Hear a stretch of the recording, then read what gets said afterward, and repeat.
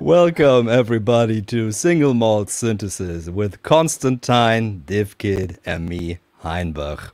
Whether you're watching right now on the stream or you're watching the voice video on demand, that's what what means, right?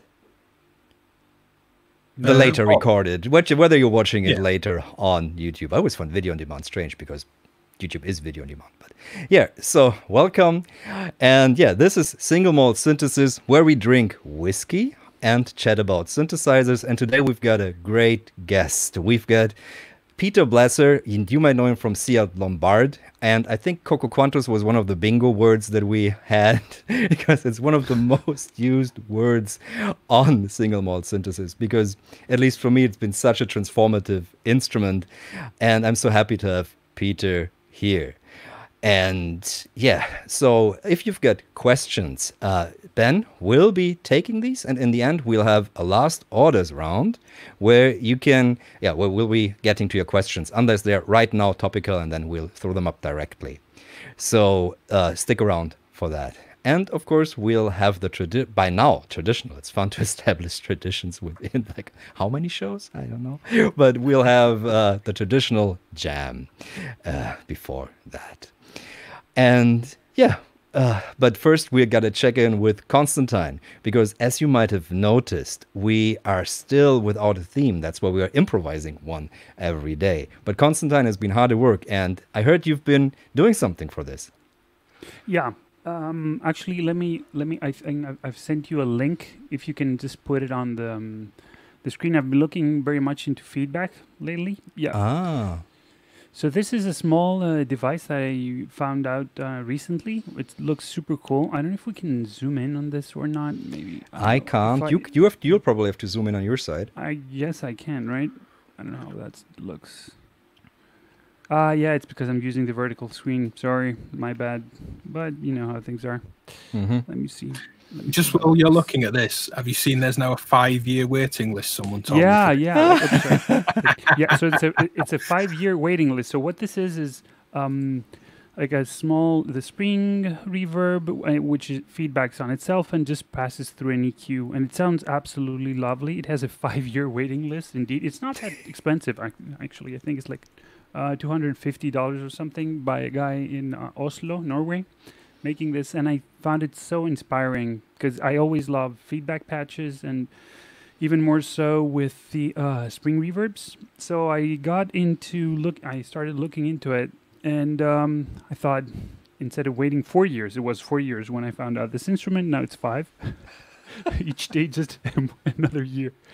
Um, so I did a small patch. Let me just show you by moving the screen, which is what I'm going to be playing today. Okay. So ah, boom. So the Shall I? resonant s- I'll solo your screen then. Yeah. So the resonant EQ is uh, acting as the um, equalizer on this scenario, and I'm just taking advantage of the um, Koma um, effects kit. Sorry, I'm not showing it. Field kit. The Yeah. fact, yeah, the field kit effects and the fact that they have uh, spring reverb, and you can do stuff like. Um, let me see.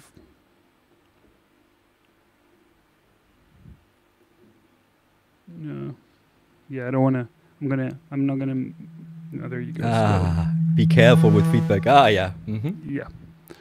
So yeah, and it, you can actually make it sound super amazing. So this is uh, part of the upcoming theme of the. Very nice, So- very nice. You know, like five people sent me that thing, like when it came out, and I think, yeah, I I put myself on that list too. It still didn't have like years in the waiting list then, so maybe it will be there too or something. It's crazy. I mean, this looks very beautiful, hand built. Yeah, I think it's something I could whip up like uh, here when I use like the Vermona graphic equalizer. Maybe I don't know what the what are the ranges on these filters. I have no idea, and I don't think he he's uh, said about um, how the EQ has been uh, tuned. So what Mhm. are the frequencies? But it does it, it does make it sound super nice. It, uh, one of the downsides that I've seen on this design is that it doesn't have any uh, audio input, which I found Oh, a bit yeah. weird. So it's Mhm. it's made as an instrument to be played in and of itself, only output. But uh, it would have been nice if there was an input there.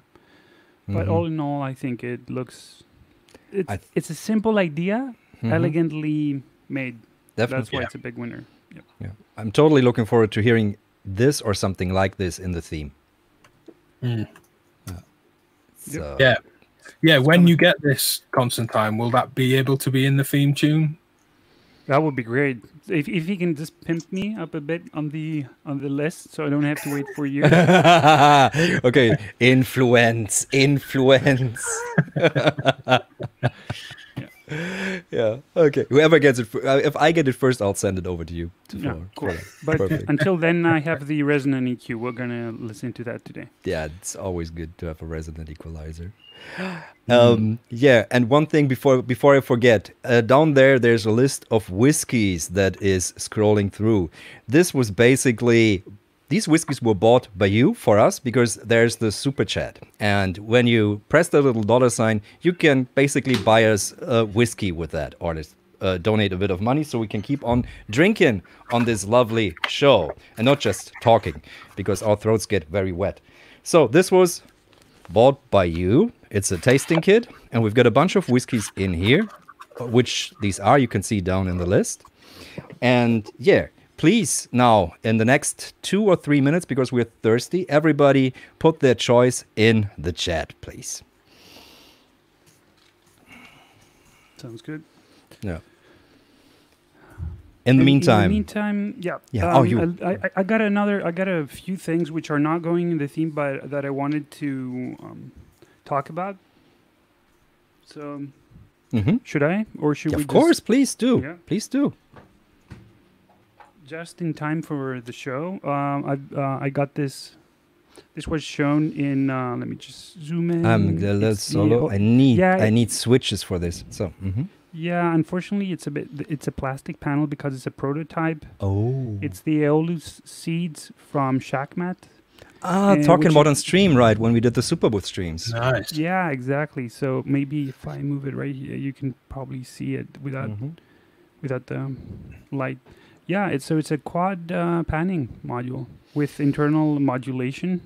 I can't. It just arrived right be- before the show. I'm super excited Super to cool. plug it in and do quad panning. We have to get StreamYard to do quad panning. to do quad output. No, don't don't bother with stereo. Don't bother with stereo. Just go straight quad. So and then this will be the experimental musician's favorite favorite streaming platform. That would work. Yeah. And uh, That looks that looks really cool. the module. You mean? Yeah. Yeah, um, and they're also making a quad, like a mixer for quad systems, like with uh, if I I don't remember the specifics, like three or four quad inputs, and then a, a couple of stereo stuff, which is Hmm. super simple but so useful because most of the these like you can't just have one sound going around. You need other stuff going around at the same Yeah. time, and super And even cool. statically placing them, you know, even things that don't move that just pin the corners of the quad space to give the sense of that something to move around. It's really smart. But also not even as quad, just as signal routers. They're really super useful. Flying CV around four different destinations in a patch and yeah, really interesting.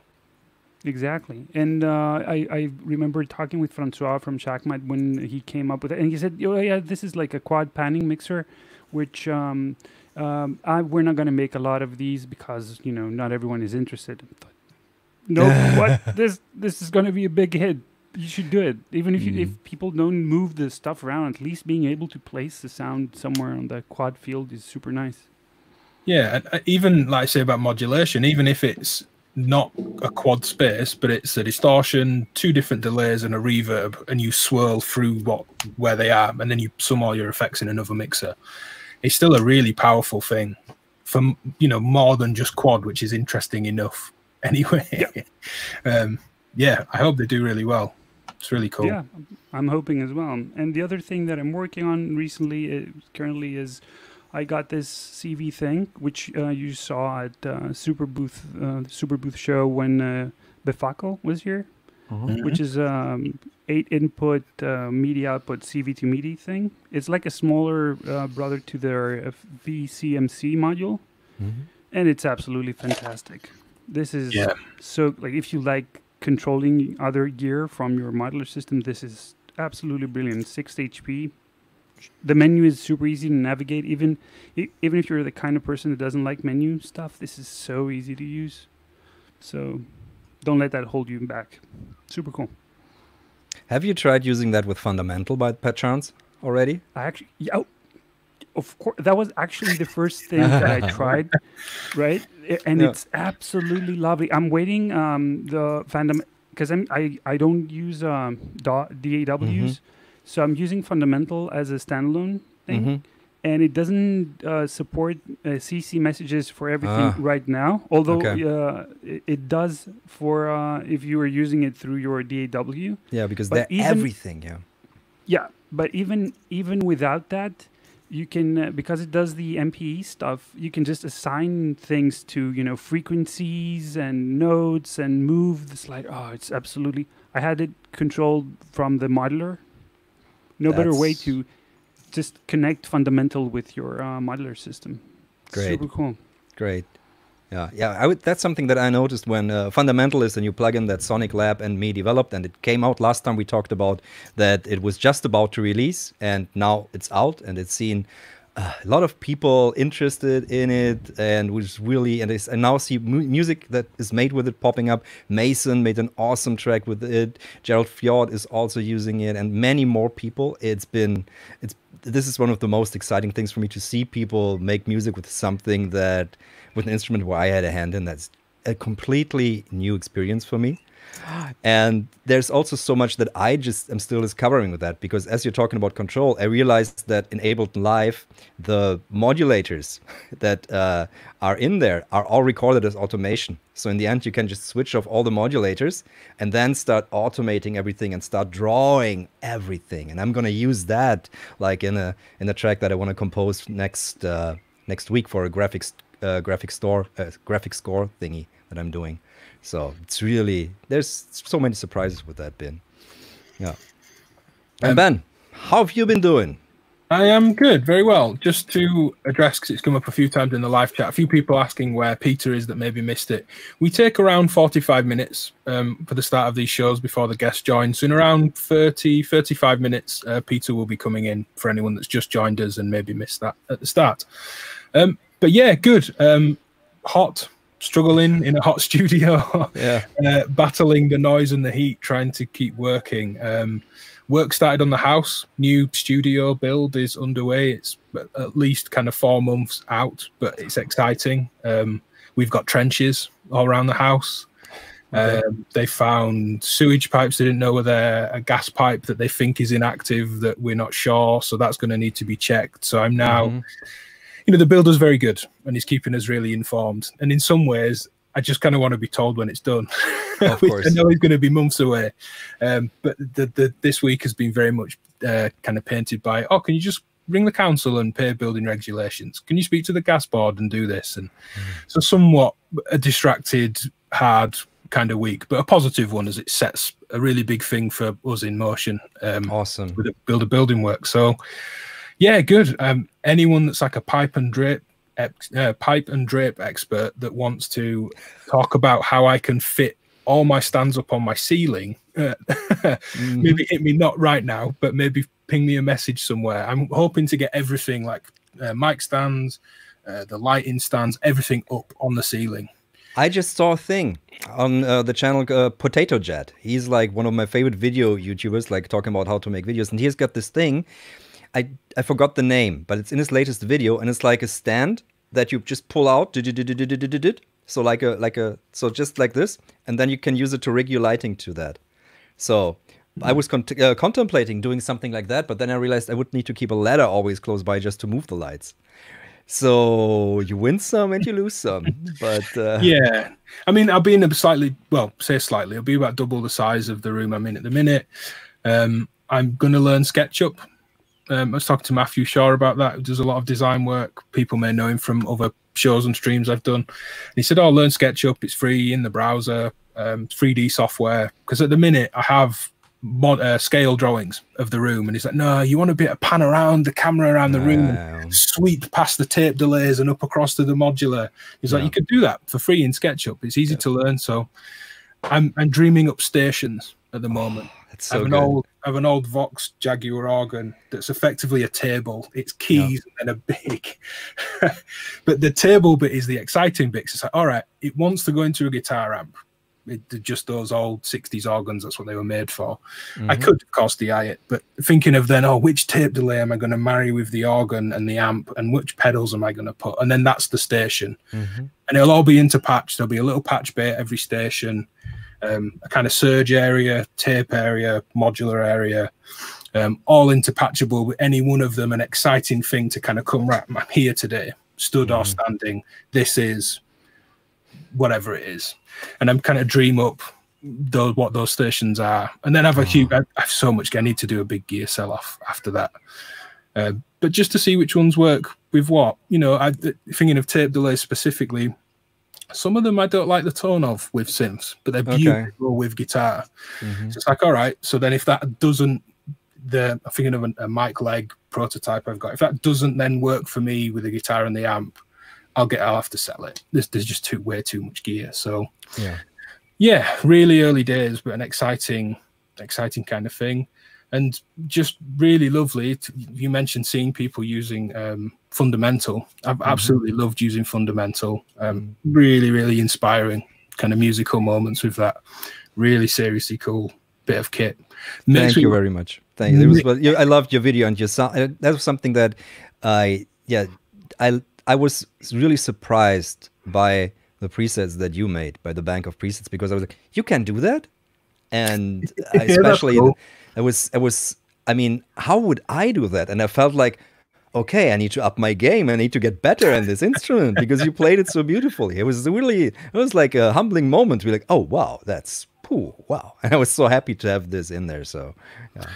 it, it happened because the app was inspiring. It's as simple as that. And I'm not saying that just because you're here. Just that that was my experience with it. It's like, oh god, I've got to share this. This is great. Mm-hmm. It really makes me want a stereo tape unit. I think all my tape units are maybe mono, other than one of mm. the Tascams, because of that beautiful modulation that Sinan mm. has in his apps. I was like. Oh, I need to get this on half speed the tape. Ah, And I, yeah. you know, I could do it across two tracks and record it back, but I don't really want to do that. I, I, so I think I'm going to have to buy a stereo tape machine because of fundamental. there is a stereo tape machine, There's got like a stereo, like a stereo, like Echo. Uh, no, sorry, just a, a reel to reel. Ah, a reel to reel. Oh, sorry. Yeah. I've only got a mono kind of mini reel to reel, and then Yeah. various kind of part studio bits that Yeah. could do on that, but I want it on a reel. Yeah. Um, I also need a different audio interface because I only get like the outputs that go to the speakers, and that's no, that's doesn't work. So I can't. I want to Yeah. run fundamental through all the external outboard, but uh, yeah. Either Yeah. I, I, I won't. I, I can't wait. I can't. We're, we're working on the on on the iPad version that's coming up next, so that's gonna. But I can't wait until that. I need to do something about it before. somebody mentioned in the uh, chat if i mentioned it to chris meyer earlier and he's, he, he said looking forward to the construction sample pack i have had the uh, recorder out of the window Okay. so i've got some amazing sounds of concrete being broken machinery one of the machines has this great rusty old clunk to it as it kind of like claws back. It must be a certain angle of movement because it only happens about five times a day over the last few days.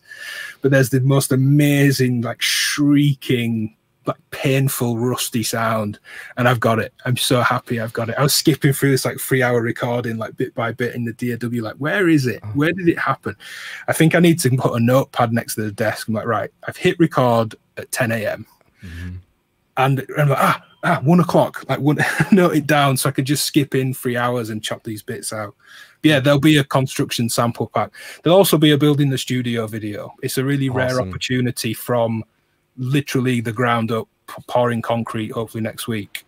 I mean, I won't dwell on that. It's not a building channel, but from from knocking the old garage down, uh, not could I don't offer any help in a building channel, but from knocking the garage down up to right, we're now in an empty room. What am I going to put in here? Some of the acoustic treatment, some of the gear, some of the general choices, not just synths and effects and things. So we're I'm out every day, bit of recording, pictures every day. Um, Lovely. hopefully do something really. I'm hoping to do a. Uh, there's a great video I saw from a Spanish studio years ago, and they built. You didn't see the room being built, but they stood. I think they spray painted a dot in the middle of the floor, and it just took a snare drum in and just kind of hit the drum once, and then it was you'd hear it again the next day with the ceiling treatment, and then the next one was, and now we've done the walls, and now we've done the floor, and now we've got the internal foam and panels up, and it was great just to hear this kind of like ding get kind of shorter and shorter and shorter. And it was really a good short video. Be like, all right, okay. I actually think they went too far. By the end of the video and all the treatment and the furniture was in, I was like, oh, you want to go back a stage or two? but so you've you've done, you've killed it. The room's too dead. Depends on what they were doing, of course. But yeah, I'm hoping to do something like that. Um, so yeah, that's that's been my week largely. Nice, nice. That's uh, uh, great expectations, basically. Yeah. Um, and just to reiterate, anyone in the live chat, if you tag me, I will note your question down. So put at DivKid video, I'll note the questions for later. Exactly. We'll go to the questions after the jam and the last orders. And speaking of orders, I think what whiskey shall we drink? Was the decision? Anyone checked? Um, I think most people were well. The it, the Bunaha, Bunahaban. Bunahabin. hmm I, is it Bunahabin? Bunahab? I, I can't pronounce stuff like that. Um, yeah, I think he got three votes, which was the most. Okay. From then what I saw. it's the last one in the thing. I know four this one. It's very, it's very, uh, it's it's good on a sunny day. I think. Okay. So. Ah, there's no uncorking, sadly.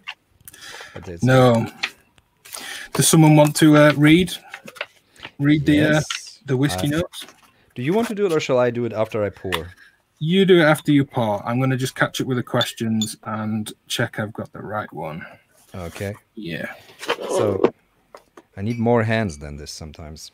So okay, should also if it's the last in the thing should yeah it's the last. And, Oh, they got it structured very well. So that's a Buna Hab- Hab- Habain. Habain. I hope I pronounced this correctly. Please, someone do the phonetics there. it's Ooh, 12 smells years in. Islay. The Bunnahabhain distillery is located in the northeastern part of Islay and is built on the estuary of the Margadale River. The first new spirit left the distillery in 1882. Little has changed or modernized in the distillery so far. Launched in the summer of 2010, slightly daring and with a higher alcohol content of up to 46.3%, no chill filtering, and no added coloring, this new version of the 12 year old is a huge step forward. Okay, I haven't had that one. So, cheers, everybody. Or cheers to everyone in the chat who's drinking with us. Smells hmm. so good. Str- strong smell. Oh, Chocolate. Yeah. Super Oh, chocolate. that is good. Good oh, choice. thanks everybody. David Ramirez, Monstrous Moonshine. Thank Monstrous Moonshine is a fitting name for this. Very. uh, uh, thank you. Thank you very much. Whoa. Strong. This is oh, strong, but I love the the chocolatey caramel taste of this. Oh, and then oh, that's a nice burn. I should say, as I've just seen Monstrous Moonshine's um, comment, just saying the presets were great. Um, what I should thank people that that paid for the presets. I put the free presets up for fundamental as pay what you want, um, just so people could enjoy them. And um, plenty of people threw a dollar in, dollar here and there. Um, th- th- that's great. Really, you know, it, it certainly pushes me to do more of it. You know, putting things up for free, presets for things, sharing these things. It gives it a nice, good feel good at the end of a project. It's like, ah, people don't just want to take stuff, which is fine because I Yeah. put them for free because that was fine. But Mhm. it's really lovely when a few days that you're like, oh, people want to support people doing stuff, and that that's always really cool. I like that when I see other people's patrons. I'm like, I'm glad they're being supported. That's really cool. Yeah, definitely. Yeah, it makes all stuff like this possible in the end. So Yeah. yeah, ah, so that was good. Ah, that's really. This is always the nice. This is now the show is starting to settle right now. Very good. Yep.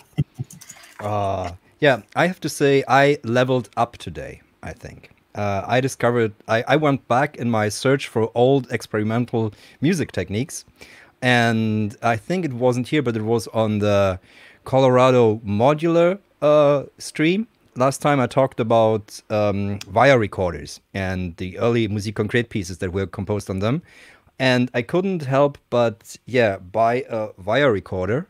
Is it on here? Uh, it's pretty dark, probably too dark. I need to up the lighting. Yeah, so it's sitting moodily here next to a nuclear preamp.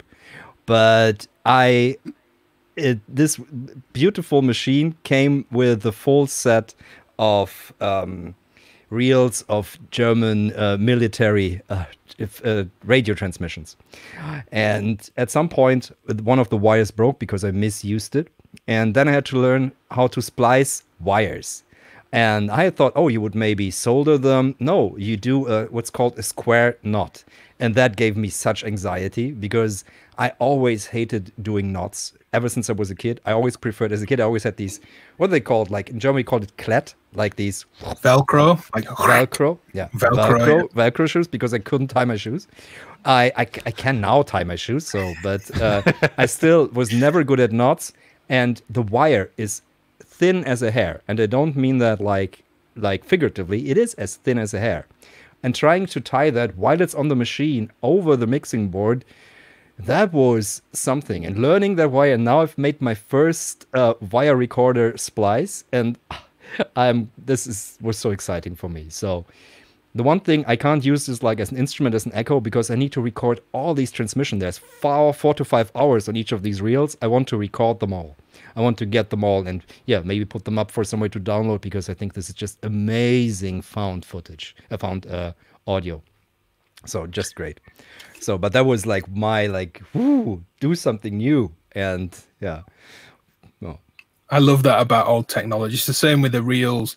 I had a thing with with a reel to reel machine, tape machines, thinking that do I continue to buy ch- cheap, kind of 30 euros and under, um, or 50 euros and under units in hope that between them there's a working machine and maybe in total spend about 100 pounds, 100 euros? Or do I just pay that bit more for a service machine when it's going to, you know what? I want the grime and the dirt, and I'll kind of take, um, I guess you'd say, the rough with the tumble. I'll I'll take some bad units for a good one eventually, Yeah. and you know, have two units that don't work, but I can run them, do the tape across to each other, and it does, and then that gets me thinking about running them as like a time lag accumulator. I want a pulley system. They're, they're unfortunately really heavy, but I'd love a pulley system on the wall of these two units so I can spread delay time between them on mm-hmm. some kind of rigged. It's more, it'd be more like an installation piece than a studio piece it'd take up too much space. But I'm hoping to to have room.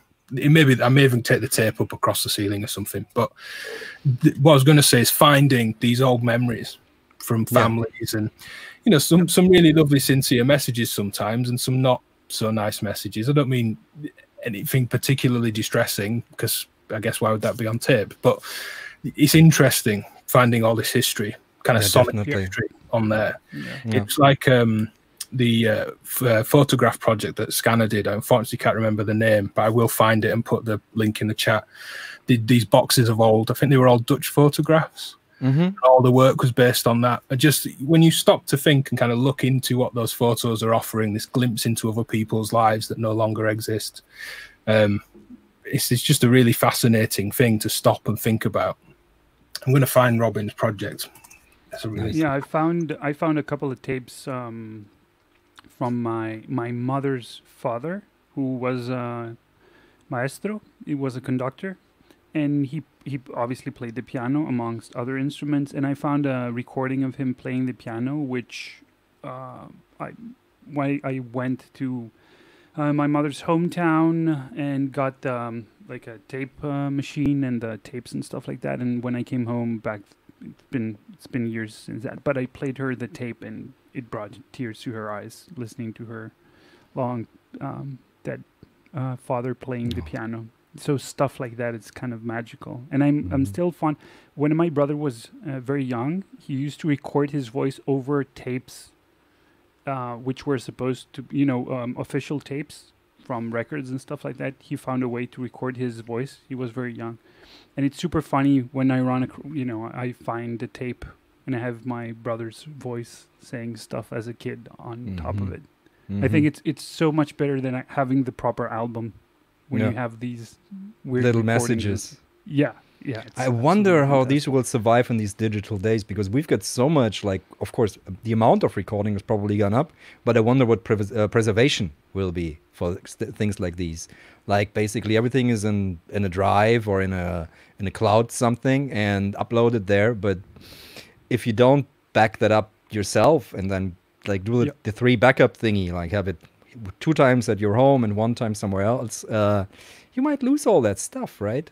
So and all these memories might be gone. Like the whole childhood of my kids might just be gone in a wink. And no yeah, one to access it. And the same with the photos as well, right? Like you have, it's it's funny because we take uh, tons of photos now. It's super easy. A lot of people, but is anyone actually going back and checking their old photos from ten or I don't know why people take so many photos. Like you, we used to have photo albums. Mhm.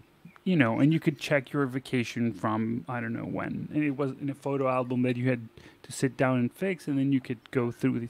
But who's checking old drives? You mean old hard drives? Oh, just yes. doesn't Yeah, have the same yeah, thing, yeah. does it? I can't see, you know, th- my daughter's two, nearly three, and she likes seeing herself as a baby. In fact, this morning we Yeah. had the iPad and she's seen the old pictures and she finds that fascinating. And she's got the idea now of she's not asking who is it, she knows it's her. It's me as a baby daddy, and, and it's great and it's cute and it's lovely. But in 10 years, will that be interesting? I mean, when when we used to go on uh, vacations as a kid, my mum would always get me, and I remember they were always about five pounds, like a disposable camera, and it's like you've got thirty photographs. That's it. Like day one, 15 photographs in, and they're like, "Well, we've not gone anywhere yet. This is like hotel room and the pool or whatever, or you've just taken 15 pictures of the sand. Like maybe just hold off." And it really used to make me think. It's like, I guess it's a similar analogy to um, storage space on samplers. When you've got megabytes of data to work with, you had to be creative. Mhm. So I'm not saying I was creative with a disposable camera by any stretch, but it did make those just having 30 photographs, as you say, Constant, that was that holiday that year. That was that trip to family that year. It makes those seemingly more special. I'm certainly, if I had them here and they work with my parents, I would like to get a box of photographs out. I'm not going to like sit and scroll and be like, all right, let's go back to 2015 and what I had on my phone at the time. And no, it just doesn't appeal. Yep. Exactly. So, so in a few minutes we'll have Peter come on uh, the show. Peter from Ciat-Lonbarde, and uh, yeah, I just want to share a bit of news because next week I'll be doing an exhibition again. I'll be doing the landfill totems, and Peter's instruments will have a part in this exhibition because and landfill totems are installation that I made from uh, te- old test equipment, basically abandoned stuff that even I couldn't put in my studio anymore. And I rebuilt these totems as a Mark II version at Patchpoint, where Ciat-Lonbarde is also built uh, in Europe. And um, I had the idea of making this because it's the fourth or fifth opening of Patchpoint that I'm uh, that I'm attending, and uh, so I will be. I thought this would be nice to incorporate it with everything because I'm not playing a live show there. That will come at a later point, depending on how COVID and everything goes. Maybe it'll just be a stream, but uh, there will be a deer horn organ, and the deer horn organ will act as a no-touch mixer because yeah. Nobody should touch any of the synthesizers, which is what you would normally do when you've got an opening party of a synthesizer shop. Everybody touches the synthesizers. No, not happening here. So uh, I thought of the idea to have the deer horn organ there, and on one voice of the deer horn organ, because you can just use this as a VCA basically, as a mixer with gestures, there will be the landfill totems. And I set up the patch for that today, and uh, then we'll have Darren uh, Wiener, who runs Patchpoint, have do a patch on the Serge to play with that, and then we'll have uh, Olli Koch, who also works at Patchpoint, is a fantastic musician and an old friend, will do something on the Ciat-Lonbarde. And so when like one of the two people, two people maybe probably, I don't know, it's seven people probably allowed under COVID regulations in that store. So if they're there, they can play basically this exquisite corpse kind of um, composition that we did together. And then we can record that and maybe yeah upload that somewhere too for people to also listen. So that's going to be happening next saturday next week something i'm really looking forward to. Yeah. i love the idea of the no touch the perfect coronavirus mixer the no touch mixer. Yeah exactly. Yeah. Really good idea yeah, that's. I think like this was like the one of the most natural uses for me for the deer horn, and I probably am looking forward to to ask uh, Peter more about his ideas for this instrument. And uh, yeah, Cosmos Hainbach is playing on Real Player Four. Am I going? Is my upload rate going so bad? Am I looking horrible for everybody? Yeah, it's a li- it's got better. It's gotten better. Yeah, you, are a bit glitchy. Blocky. Oh, and, yeah. oh no. There's nothing I I can't fix the internet right now. I look perfectly I look perfectly fine here, but that's probably saying nothing. So I got all this fancy gear, but the upload speed bottlenecks it. Well, maybe it's because also the house next to us is right down in complete COVID lockdown, and everybody is at uh-huh. home. Uh, they're all quarantined, so probably all the internet goes there right now. So, no. Don't worry. Oh well, you sound fine though. Yeah. Yeah. Real players, real player like that was still a thing. Like I, I want to have a real player like plugin or real player module. that was the worst of the worst in audio quality, the which is interesting again. Yeah, Qubit did the. Uh, is it called the Data Blender? Not sure if it's out yeah. yet. Uh, which data, is meant. To, um, data was it data? It wasn't Data Blender. It was data. I don't remember. Let me just look at it. Again, I find it. we'll put it in the live chat. But uh, yeah, the Qubit module um, kind of that audio compression, not in a, an audio sense, but data compression, mm-hmm. modeling, and glitch. And you mm-hmm. can simulate CD skipping and all sorts with that, I think. Um, we'll find it and get a link in the chat. It was a data bender. There you go. Nice. Got it. That seems something I definitely need to try. Yeah. Yeah. So, unless you guys have anything else you want to talk about right now, shall we get uh, Peter Blasser in on the stream? Yeah. Cool. So, for those who don't know, Peter Blasser is an artist, a scholar, and a musician, and a builder of instruments. And uh, he's probably most known for his work as Ciat-Lonbarde, but he also created the series of Tocante synthesizers and, excuse me if I don't get this right, Peter, Yaskul Bimobenthi uh, Eurorack modules. And then there is Shbobo, which is a digital version, and there are different instruments in that series, including an amazing guitar that I'm always staring at when I'm at Patch Point. But in general, I think uh, he's one of the most interesting uh, instrument designers of the recent decades. So, without further ado, welcome Peter Blasser. Hi, Peter. Can you hear us? Hi. I love uh, you're drinking Jägermeister. Yes, that's all I have in the house. I hope it's nicely chilled. It is. Yeah. Yeah. Uh, did you get that from your last trip to Germany? No, there's more Jägermeister in the southern United States eh, than in Germany. So. ah, really? Okay. Yeah. So, where are you streaming from right now? Huh? Where are you streaming from? Oh, I'm not streaming from the south. I'm just saying that it's more of like a college thing. But uh, I'm okay. streaming from the Northwest, from Portland, Oregon. Okay, good. And do you perchance have headphones now? Well, the thing is, I looked all around the house and I have. I'm not going to be able to do that. I'm just doing like putting you on very low and I'm talking. Are you getting echoes? Uh, no. In the beginning, no. but not now anymore. As long as you yeah. can follow everything is fine. Yeah. Yeah, I'm just DJing it really okay, you got your hand, you got a manual control for for microphone volume. That's pretty good, pretty handy. So, yes. Yeah. So I'm gonna switch now because I already drank my uh yeah my uh, sh- uh Bunnahabhain. I hope I pronounced it. right. Did, did we get the correct pronunciation for that, Ben? Have you seen? I think someone mentioned it, but I lost it. Oh, okay, good. So I'm gonna switch to a Lagavulin now to cheers with you.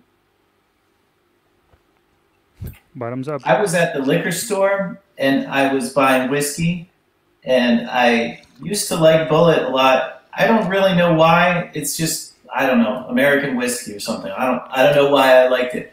But the liquor store owner here in Portland, St. John's, Portland, Oregon, which is a very great place to be politically. Um, the liquor store owner told me that the politics of the Bulleit family, um, they had a uh, a lesbian daughter and they disowned her. So Oh, yeah, when she married. So yeah. What you're gonna? Do? Oh, okay. Yeah, that's kind of like that makes it hard to support something like that. And I think Yeah. oh, we we got it in our set. yeah. Well, I didn't want to embarrass your set. I just wanted to make your set more rich with Definitely. information for Yeah, that's good. Good to whiskey know. connoisseurs out there. Good to know. I, good won- to know. I wonder if it's on the description. for the No, well, you know, yeah, it could be in America, yeah, Hmm. but it isn't on that one. Okay, we'll have to figure out what we're gonna do with the Bulleit in this uh, in our selection. Oh man, I had a similar thing. There was, uh, I think, uh, there was uh, Italian spaghetti barilla, and they were co- they were like they came out as basically anti-gay at some point, and uh, they said, "Oh, it's fine if gays don't buy our products, but." Okay, then I'm also not gonna buy your products. It's but again, that's passes, and then management changes, and they fire someone, and yeah. okay, so cheers to you. Cheers, everyone. Cheers. Straight from the bottle. Nice. Ooh, tough. Oh, whose birds are these? I hear lovely birds. Does this change the birds? Yeah, bring Don't- the birds back. Bring Yeah. birds back. Please bring the birds back. Yeah. Yeah. you- Uh, Where are you, you in? would Do you die. have kid? Are you in England? Yeah, I'm in Bradford, an old industrial town near Leeds, about an hour east of Manchester. For anyone, Manchester's probably better known. Uh, but yeah, um, it's known as not a very great town and city, but there's gorgeous countryside in most directions, and there's some character to the city. But um, I like it. Yeah, I recognize the English birds. Ah, You okay, do? They're they sound posh. not in Bradford. We don't have posh any. No, but uh, how do you recognize? Do you have you studied birdsong in any way? Um, we watch a lot of BBC in the states, so Ah, okay, okay. So you got it from got it British from TV. countryside is an audio mark on our TVs. Mm -hmm. Yeah. I mean, what was the name? Now the name escapes me. Which is what was the name of the French composer who used bird songs as the main inspiration for all his music? Messiaen. Messiaen. Yeah, exactly. And that's so like his music is so so amazing. I think in that regard that it takes this from nature. He notates like the bird song and puts that on a violin. Ah, there is something very special about that. and a lot of or- organ on Messiaen would be doing with organ. I found that really interesting, the intersection of birds and the pipe organ. You know, Mhm. and he used to um, improvise every Sunday on the because he he was a devout uh, Christian, and he would he would play. He was the organist for his uh, local church, and he and organists are known uh, that they. It is known that organists improvise a lot. It's part of their repertoire, and they um, he he would improvise every Sunday on the local church. Imagine having that guy play every Sunday on the church near you. Oh, Yeah, that's that like would- Michael would Jordan playing for you. yeah. That's like Michael Yeah. Jordan playing your local your local basketball team. Oh. Amazing. Really, Yeah, um, really good uh, uh, from the 20th century. Definitely one of the um, composers to look into. Yeah, and also it's it's one where you can get into like you can easily get into Messiaen, I think, right? Yeah. It's not like you're not being you're not harsh serialism or a 12 tone or different kinds of logic in a way. It's something that you can enjoy for the music first and then go deeper and see where it's at and let you carry let uh, let yourself be carried away.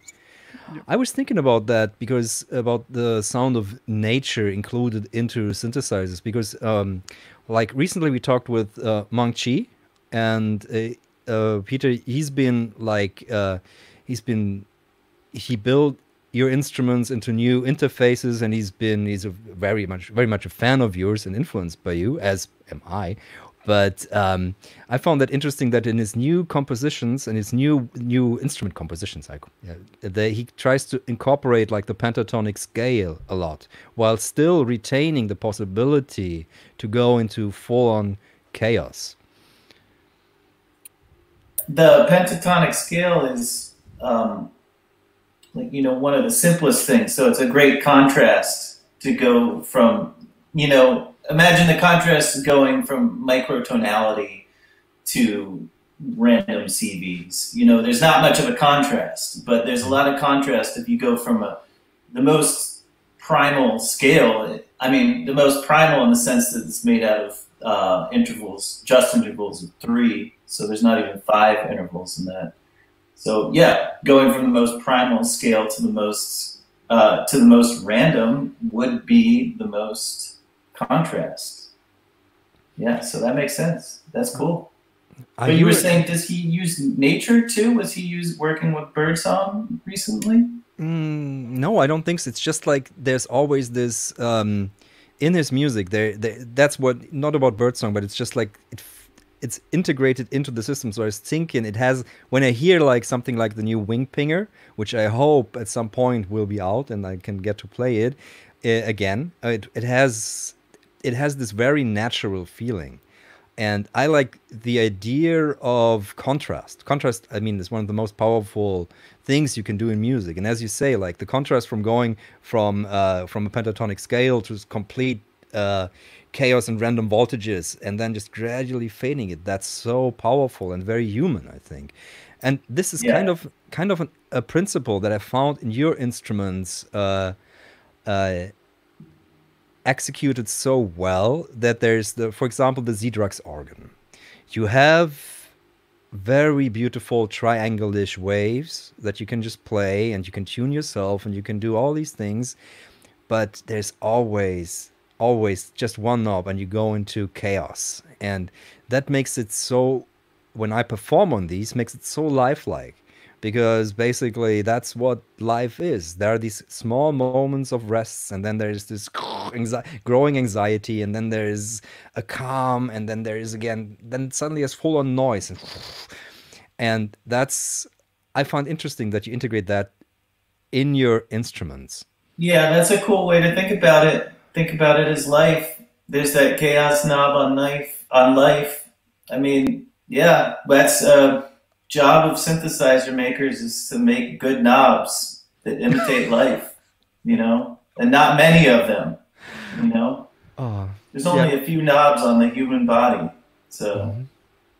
about three to five knobs is the best, maybe. Yeah. Well, we get so many quotable things from this right now. There was like three quotes, three quotes in in one sentence.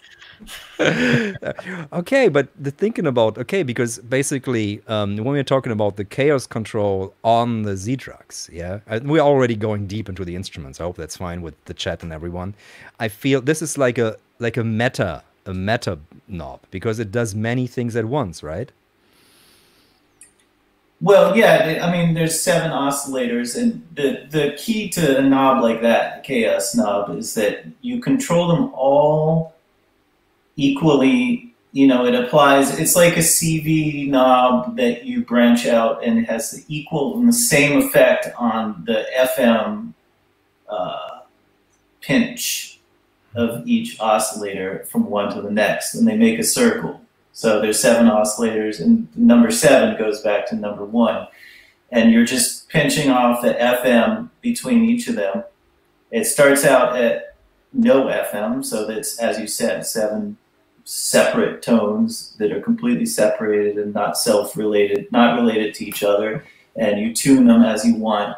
And that's another job of synthesizer makers is to make like a base state I mean, there's two kinds of base states: the base state of silence you have to think about, and then the base state of tonality too. And so the organ is a good one to talk about for that because it has silence when you're not touching the bars, and it has a basic tonality that you set when you turn the chaos knob down.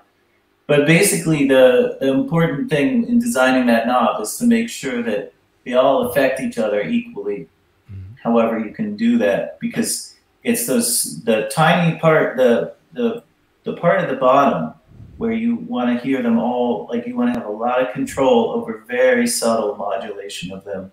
And then, of course, the part at the top, you want it to be pure, you know, whitish noise or whatever you, whatever we could call that, but pure noise, clear noise, or yeah, at the top, something that doesn't have tonality in it. So you want the most contrast and the most um, uh, even like similar effect on each of those because that's a global knob. So mm-hmm. Yeah, not many synthesizers do have global knobs um, in that sense. I mean, a Eurorack is probably has the least global knobs because you want to, and that's fine. You know, you want to set everything individually, and you create a very idiosyncratic patch.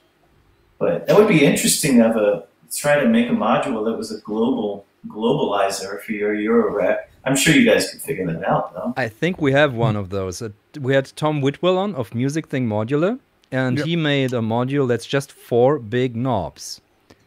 So, and you could use that to control many things, basically. So it's like a meta controller built in, and he feels exactly that need, where you basic where you set up your instru- your, your patch like an instrument, but then you want to have just like these four knobs to control like the whole and shape the direction where you're going.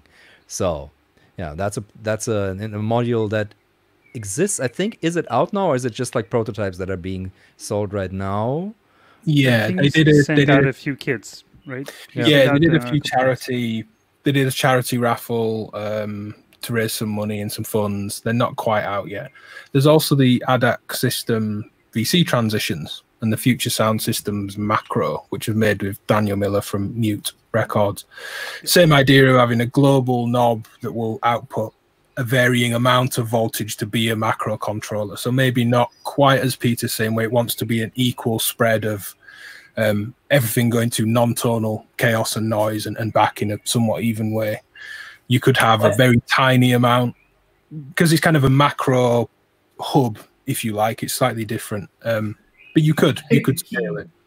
The key would be setting your attenuverters, like branching that out to the same oscillator, same kind of oscillator, having them FM into each other, and then having an FM control and the attenuverter put at the same place so that you know it has exactly the same effect on each one. Because if you start if you have like FM too high on one, then that's gonna I don't know what I would call it. This is an ear ear training thing, but I would call it like crinkling out or crunching out or mm-hmm. mastering out. Or s- dominate. One one oscillator could dominate the others and you want to have all kind of like it's unknown which one is the dominant. They're all at the same like kind of energy level. So you have to you would have to theoretically tune your attenuverters to exactly the same place which can be done. So to simulate this.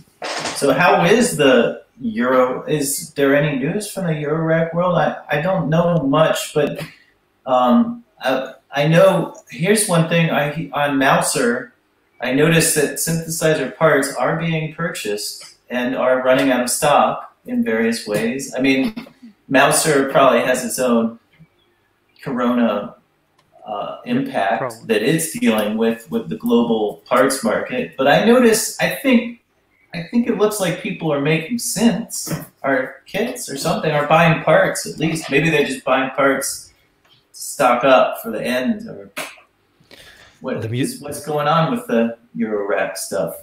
I think one thing the market in general is pretty. I think people are buying more synthesizers right now. So modules that are there are being bought. Synthesizers that are there are bought. Reverb prices, like even used stuff, is going through the roof. So you just see the curve. They've got this handy analysis curve. So in most of the stuff, it just goes up because people have time and they want to use. Okay, so now I have time. I'm gonna buy new gear, make some album and something like that. So and everyone I talk to, like Schneider's Laden and stuff, they say people are buying. It's better than before even. So yeah. and that's happening on that side. And from the supplier side, maybe uh, Ben, you've got more of an, an insight into that. Uh, it, COVID hit really hard. Um, you know, one of the main factories in China that produces sockets and pots closed indefinitely. It's, it's reopened again now. But um, so then the, the, the knock on of all these things was was huge. So I think what what usually happens is Superbooth happens in Berlin around late April, um, Easter kind of time. I think everybody held off due to delays or because there was the uncertainty, and I think we're now in a wave just about now coming into July where normally people wouldn't release over summer because sales are quiet, but stores for the last two months or so are all seemingly reporting that sales are up on last year's month by month sales are up and it's crazy and they can't keep up. So I think that's then put some certainty back into the designers to be like, okay, right, we will do a run of this. It's a, it's a good time to release it. Um, so I think we're about to see a wave of all the things that would have been shown at Superbooth coming across this summer.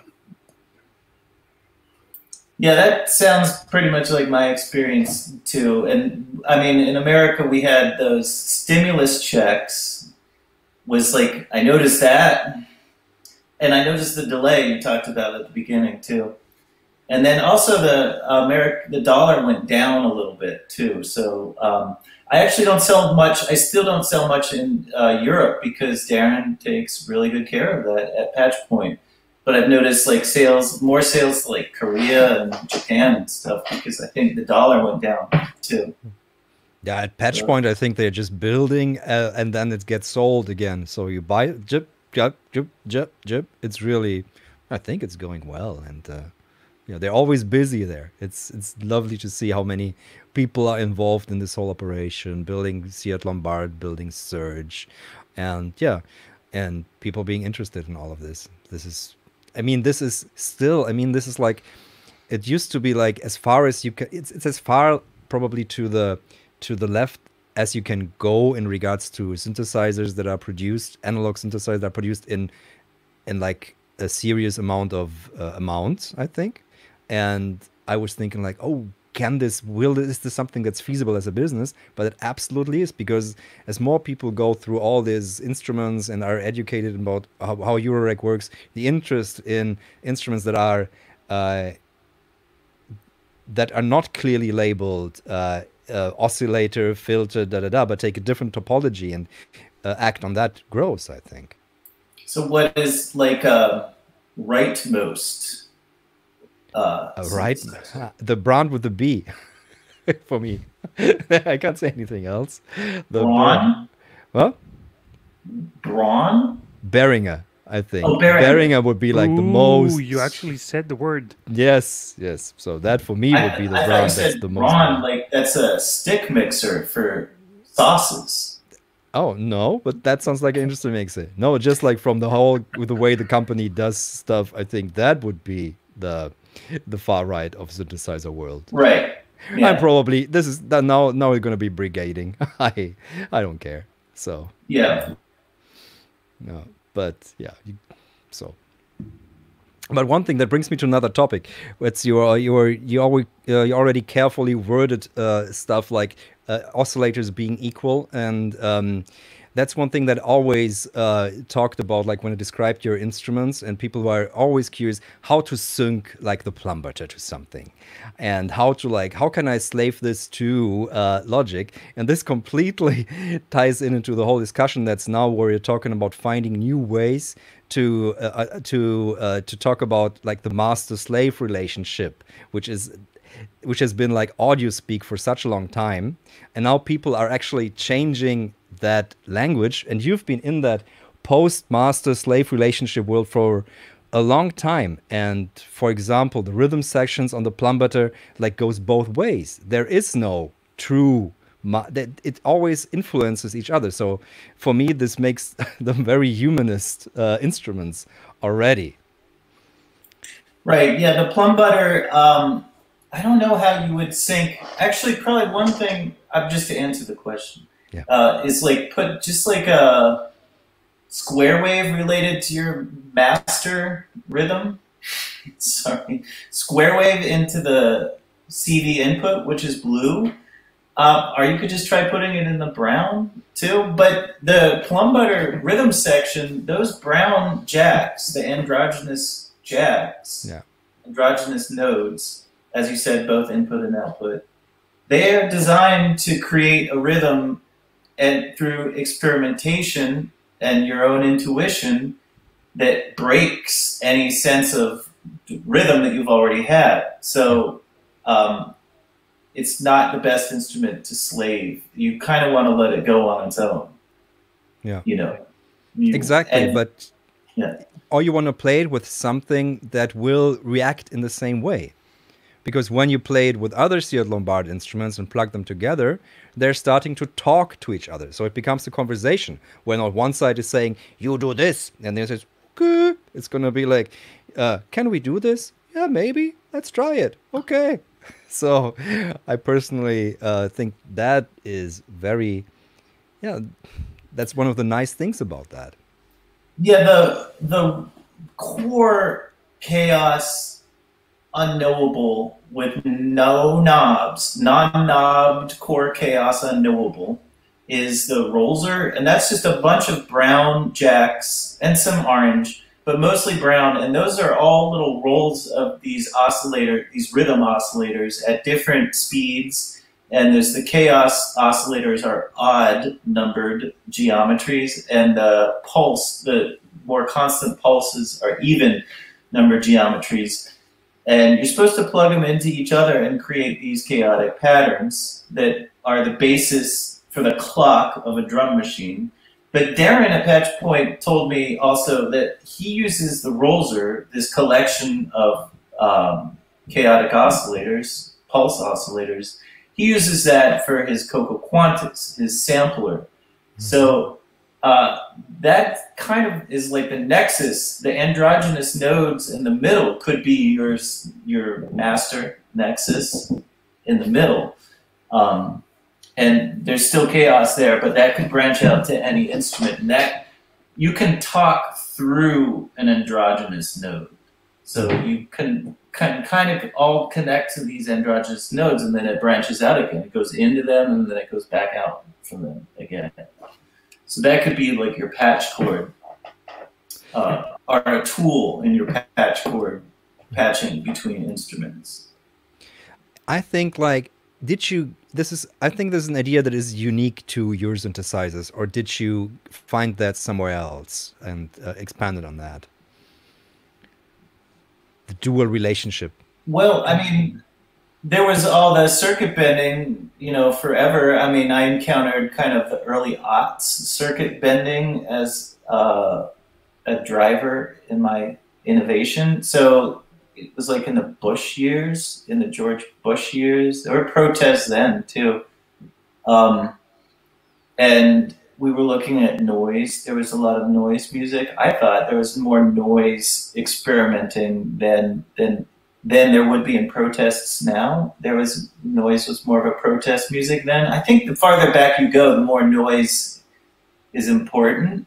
I don't know. We could test that theory. You guys could think about that. But um, yeah, so the circuit bending, I just wanted to make instruments that could be used by these people that were circuit bending.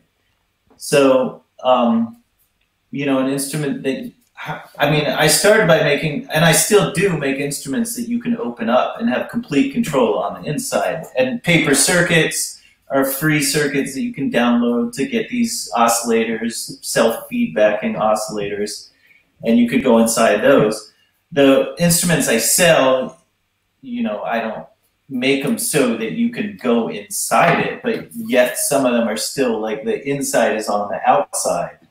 Like the Tocante, the inside is on the outside right there. Mm-hmm. And then these oval synthesizers, this isn't one with nodes, but the this can also have brass nodes, and I'm working on making one that uses um, leather spikes, or they're called studs. So it's going to have like a real nice leather motorbiker look, tough guy look. But yeah, these are banana plugs right here. But they these can also be nodes on this. You can see inside; they're just connected to the circuit. You know, Yeah. all these nodes are androgynous nodes too Mhm. here. So that's putting this the inside of the instrument on the outside. The problem with putting the whole inside of the instrument on the outside is that then you can have nodes that can break, like the power nodes and just like utility nodes that you don't want to put on the outside. hmm So it was a process of refining from circuit bending, you know, finding an instrument that could be circuit bent on the outside. And just curious, the leather uh, studs is that going to be a new instrument, or is it something like an up, like something you will do on existing oval instruments, or what do you what are your plans for that? Well, I just figured out. I mean, it was basically an eBay upgrade, an eBay um, part specking art of the assembly line kind of thing. I just, you know, stuff you find on eBay. So these are banana plugs. I've been using brass nodes for a while, and I like those. They look really good, but I've always wanted something that's just a little bit easier to install and a little bit. So that it's basically a leather stud that has a screw in the back, and um, I don't know what metal it is. Uh, Mhm. It's chrome. Some of them have different finishes. The screw is an M3 screw. It's galvanized, so I can solder to it. Actually, um, and it's just, you know, I figure these things out. I didn't know these things, you know, it's a slow. Some things I knew at the beginning. Like I knew I wanted to make circuit bendable instruments, androgynous nodes. I knew all the weird stuff at the beginning, you know, because I was young. I had just been a kid. hmm I had all these weird ideas in my head. hmm Now it's just part of, for me, I, I feel like I'm still creative and everything, but it's more in making a kaizen, like an improvement in the assembly process, hmm you know, and that's my creativity now. hmm And I I also really like to grab things from the past and rejuvenate them, and bring them back, things that I designed in the past, and Mhm. bring them back and make them better. You know, just little things make them better, but make them better. You know. Like you did with the Mark II versions of Plumbutter and Cocoquantus and Sidrax, or Yeah, that was a whole evolution too. So that that evolution was driven mostly by the CNC process. So I the first instrument we designed, me and my friend Steve Korn, a business partner who helped who conceived of the whole idea of Shbobo. Oh, Um, okay. We actually started we had a 3D printer that we were messing around with and it was that was back in the day when the 3D printer would be pretty messy. And I think they are still messy, but they made it better. But then I'm like, no, I'm a woodworker. I'm always getting this good wood. Um, the Plumbutter and Cocoquantus originally were designed the same way in the circuit, but the legend was screen print on them, and the front and back of the cases was this kind of handmade, like Baltimore. I was in Baltimore at the time. This handmade kind of 20 year old hand making weird stuff process. And then we did the shimp and we went through this whole process of learning how to use the CNC machine. And in the end, I said, um, the final evolution was not using SketchUp anymore. So I was using SketchUp as you would to design stuff for um, a 3D printer. It's a Mhm. 3D design program. And then I said, no, I'm going to just write CNC, that's a computer navigated cutter. It's like a little bit, a router bit. It can go anywhere in the wood. It'll break if you push it too far. So you have to make up these movements. I said, I'm going to make up these movements based on what a woodworker would do. Because I'm a woodworker, I know like Japanese woodworking. I've, I've studied some of that. I feel like I have some of that in me just the idea of being fanatical about exactly what movements you make with the bit. I have a triangle movement that I developed over a long period of time. A triangular movement. I'm trying to look for one. It leaves a mark on the side of the case. Everyone probably has seen it if they have a Ciat-Lonbarde instrument. There's this nice triangle. It looks like herringbone on the side of the instrument. And that's because I move the bit like that when it's cutting. It's the final cut Uh huh. in cutting out the instrument, and it's a triangle wave. And that's because you have to get to the bottom of the piece of wood. I have my wood mounted not on a vacuum table, but just on clamps. It's clamped in space. And so the bottom, when the wood's about to come out, be released from the blank, it could fly off. So you have to make this little pattern at the bottom of it of little uh, uh, what would you call it? They, they're like little risers, how you would call it in plastic, little spikes that still connect to the piece. So basically, if it's a perfectly cut instrument, all you need to do is just touch it and it pops out. But there's that last little part created by the triangle wave. So that triangle wave is just, uh, that herringbone pattern is just an artifact of making like really useful movements of the CNC bit. And like, I like to make it quieter too by making the right movements of the bit, like counterclockwise versus clockwise are all things that I learned about. And actually, I haven't done this yet. I've always wanted to, but I've always wanted to use the CNC programs that I've made as music pieces. I mean, they're really loud, Yes. really annoying. That could be good music. you know? Definitely. So, Oh, um, so yeah, that was like the evolution in that was learning how to use the CNC machine and converting it all over to that because um, it makes a better instrument to have it not handmade by me. Makes definitely better. It's still handmade, but it's just better. There's a lot of ha- lot of man- lot of- a lot, lot of- better measurement than I do. With a lot of people hours in one of these, right? A lot of people hours in one of these. So the way they are Ah. assembled, there's a lot of people hours in one of these. A lot of work. Yeah, there still is all the work because we got to put the jacks in and you know solder 'em. We we do the marriage of the organic wood to the synthetic circuit board.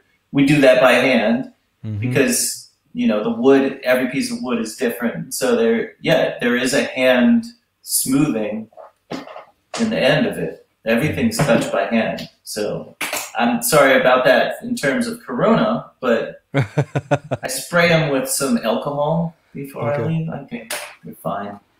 You That's a good thing. And I mean, the, the smell of one of these instruments is the first thing that hits you because it's wood oil. I wonder how it smells now with the alcohol. If that's if that hasn't that probably evaporates anyway. But Right, it evaporates. But the smell you smell is uh, tung oil. It's um, not Minwax tung oil uh, because they a lot of companies, the older com- the 20th century con- companies would put petroleum in it, but I use Hope's all natural tung Mhm. oil. It's from the paulownia tree. It's boiled in water and there's no uh, petroleum smell at all. And that's really important for me. I mean, making a lot of instruments. And I haven't, you know, with some of these natural things, like you imagine if it were lacquer made from the urushi from sumac, then I would start getting a allergic reaction over time. But I've basically covered my hands in this tung oil sauce Mhm. and I'm cool. And so it's a very inert kind of oil, and it doesn't make a glossy like bar top finish, Mhm. but actually I like how it soaks in a lot. It really fortifies the wood and makes it feel deeper rather than having a surface gloss. the woodworking is, I think, the first thing that attracted me to Ciat-Lonbarde because I come from a piano background, and this is just something where I felt like my love for synthesizers and my love for acoustic instruments is combined. So the way there's a special thing. Um, uh, I'm going again to Sidrax and uh, the Tetrax also, because the way you play them is with pressure on wood, and you do that in a way that I hadn't seen anywhere before. Would you could you elaborate about that a bit? Well, I just one thing about the piano um, is that I one time in Baltimore I I uh, dumpstered a piano just from on the street. I took the whole thing apart and tried to make instruments out of it. So that's what I was into in Baltimore. Just and uh, actually I did. And I realized one thing from that whole adventure. I made some really weird instruments out of the old piano, electronic, you know, synthesizers. Um, but one thing I realized is just contrast in woodworking. So people ask for all walnut instruments, and I mean, I could start talking about what people want in terms of color, wood color, but I'm not going to go there.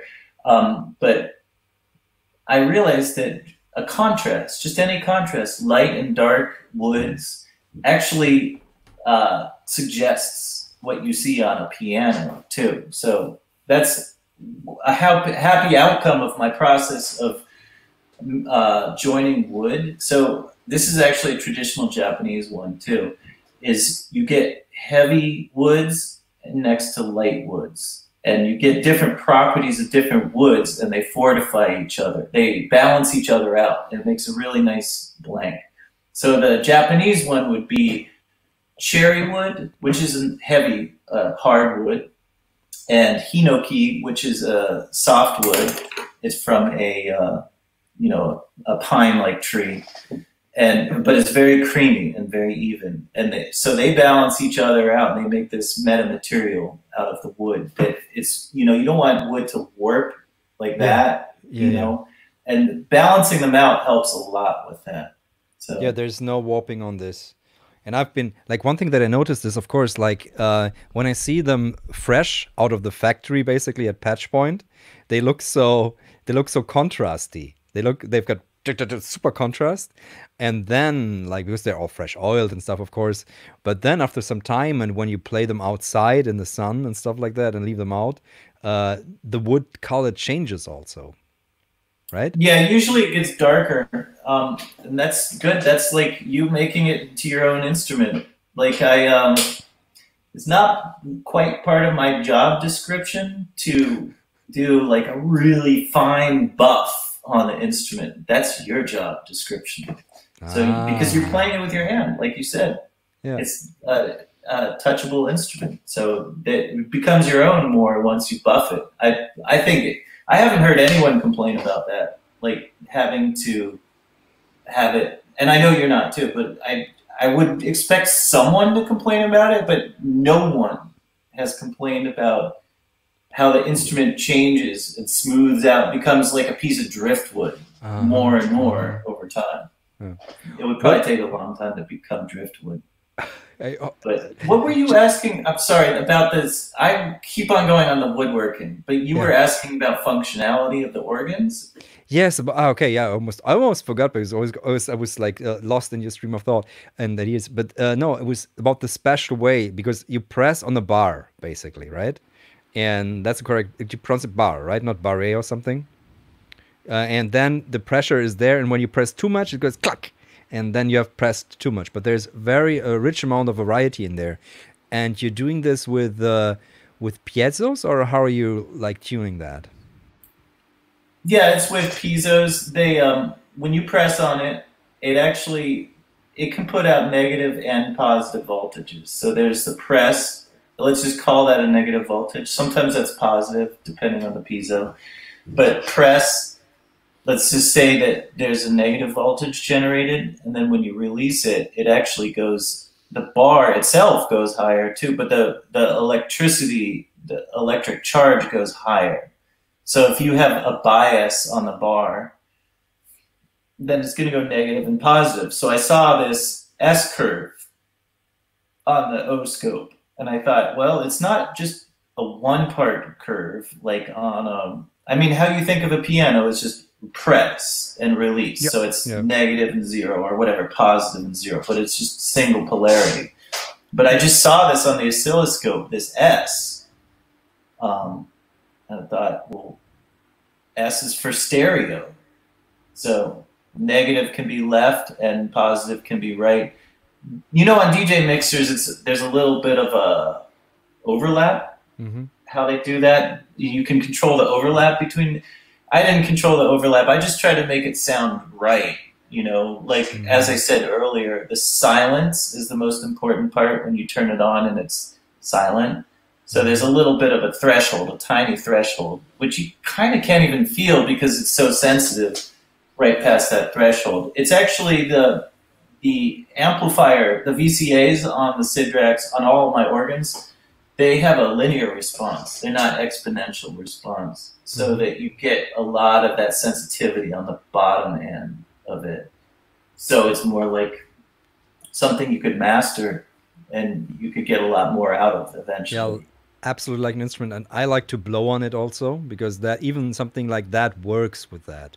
Or like put really soft stuff on it and play with just just like the tips of a of a metal drum brush and stuff like that. There's just so much to discover every time you play it with different different uh um yeah different mater- mat- different materials. And but one thing that but so that ti- so the discovery because something that i like to call the acoustic body of a Ciat-Lonbarde for me is the stereo image. So that came from that readout. Yeah, it did, and I I really appreciate how you acoustic body. I like that a lot. That's a cool idea. That's one of those abstractions that Stockhausen would have said, or Mm. Pierre Schaeffer, like uh, object uh, sonore, kind of like acoustic body. I like that idea. I like how that applies to the stereo field too. Mhm. Um, but yeah, that that did well, and that came out of just.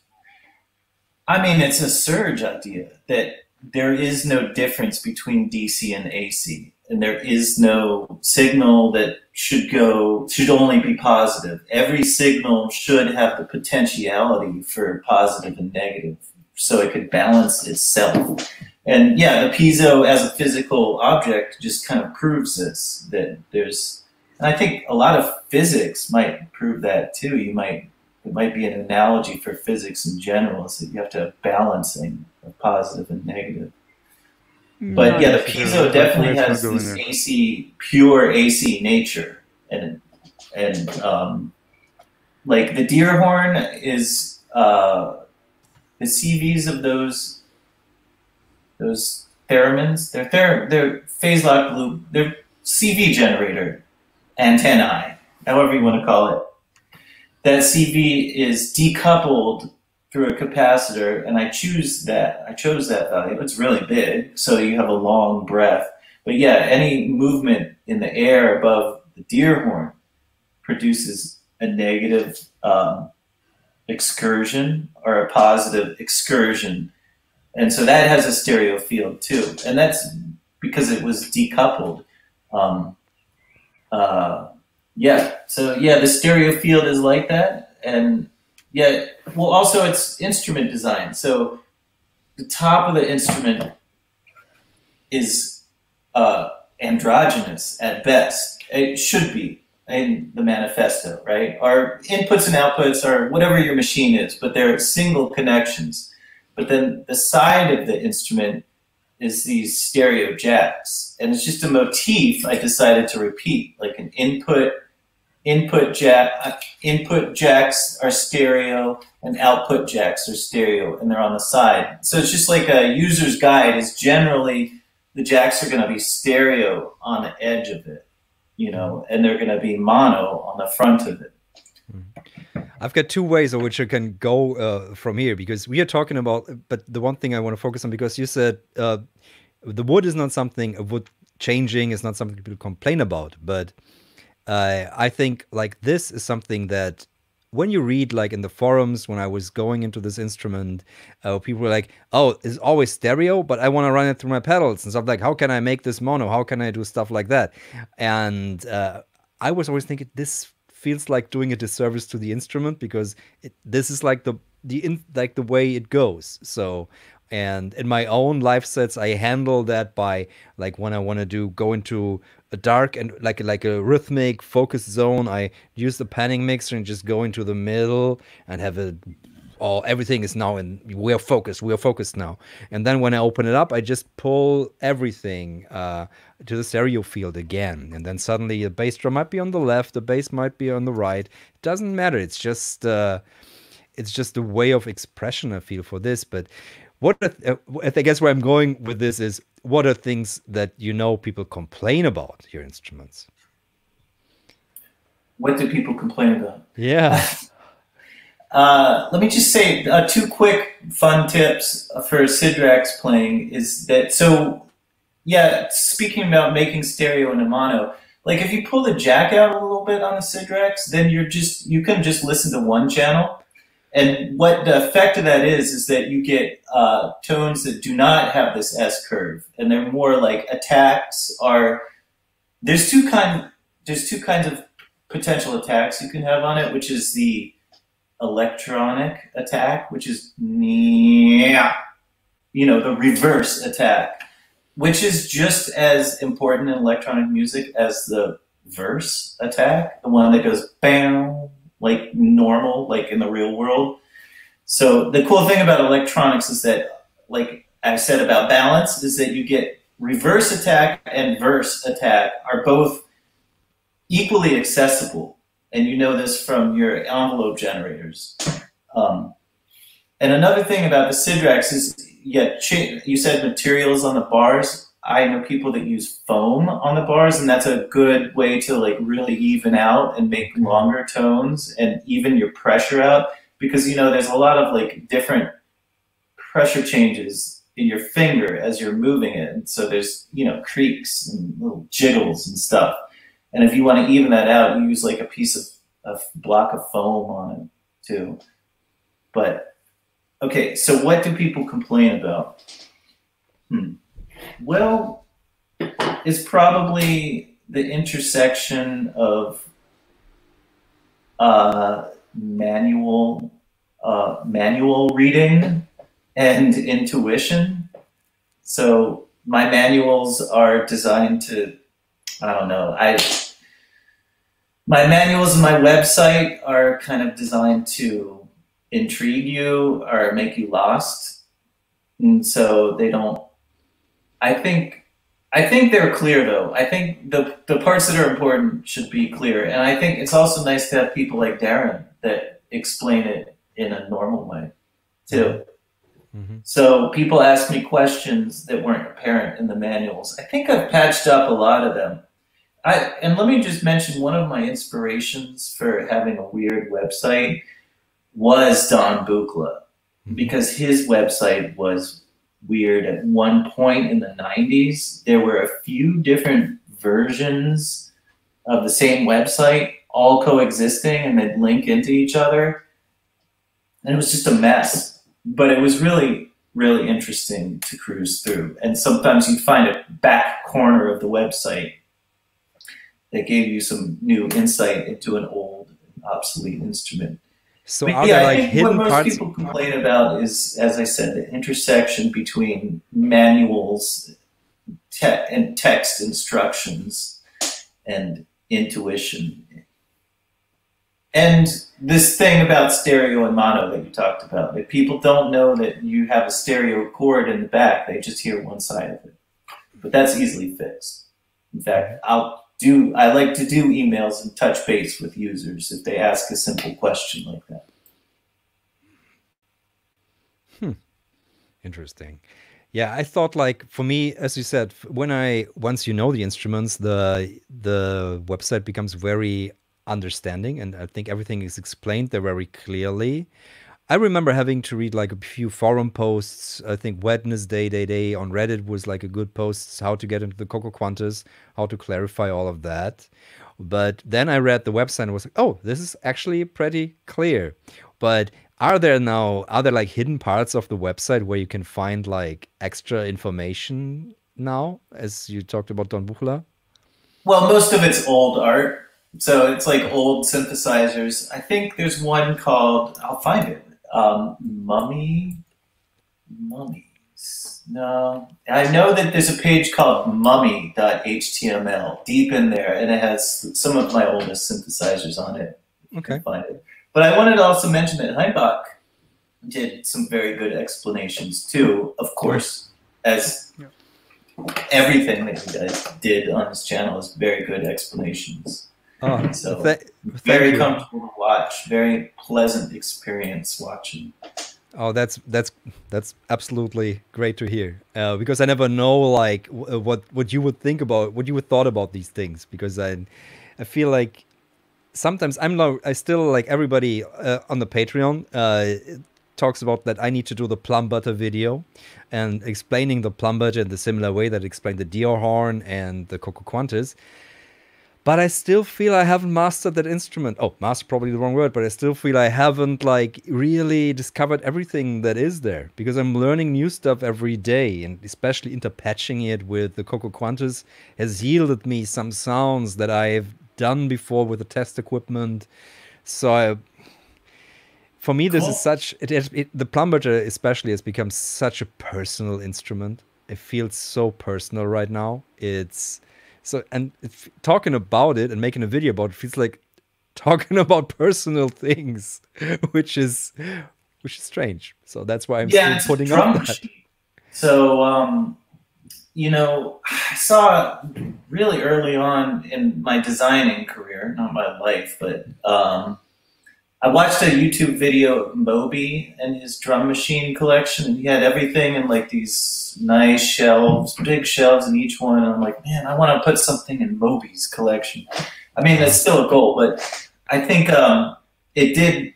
It, on your point about the drum machine as a person, I mean, the drum machine is, is a person Mm -hmm. way more than any drum machine, way more than test equipment is going to be a person, you know, because there's so many personal decisions just in so many respects, but there's personal decisions the maker, the synthesizer, and like what a snare sounds like. Yeah. There's so many personal decisions. And I think I was totally amped up from the start to make an instrument that's personal. And I never tried to suppress that. Never tried to make a universal instrument on that one.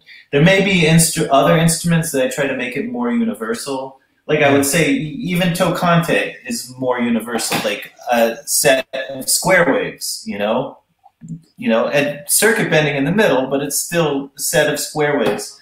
But I think Plumbutter, yeah, any time you make a drum machine, that's, you know, what is what is your beat? You know, each of my sons has a beat. Like my older son, I'm probably not allowed to tell you what the beat is, but I know the younger son is a country western beat, so it's like. The older one is more of like an urban, like really heavy hitting beat. But yeah, so like, you know, what is your beat? That's totally personal. hmm The fun thing that you're saying, like, this is so many decisions of you already in. And I think for me, the personal thing was how to like avoid them, how to play this. Not like I saw like the, the the the many videos that I saw about the sounds that I heard about it were they had a very certain characteristic.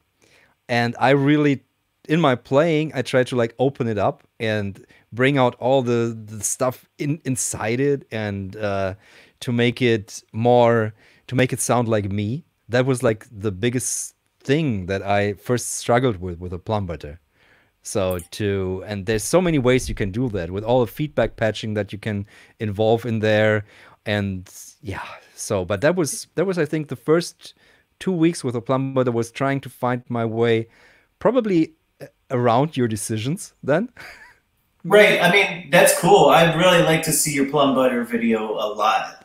Yes. because I agree. yeah Like they all do sound the same. You can hear the sound of the Plumbutter, you know, everywhere. Yeah. You where where it is. It you know what the sound of it is. And but then so to re- to come back at that is say that that's how it's supposed to be. You're supposed to be like, oh, there's that drum machine that I want. yeah That you know that has that sound. exactly But- yeah yeah yeah yeah boom boom hmm yeah Ah, The Plumbutter also mixes as well, though, doesn't it? I think you said in a video somewhere Hainbach that it, it makes for a nice stereo mixer. There's three stereo ins, if I remember Yes. right.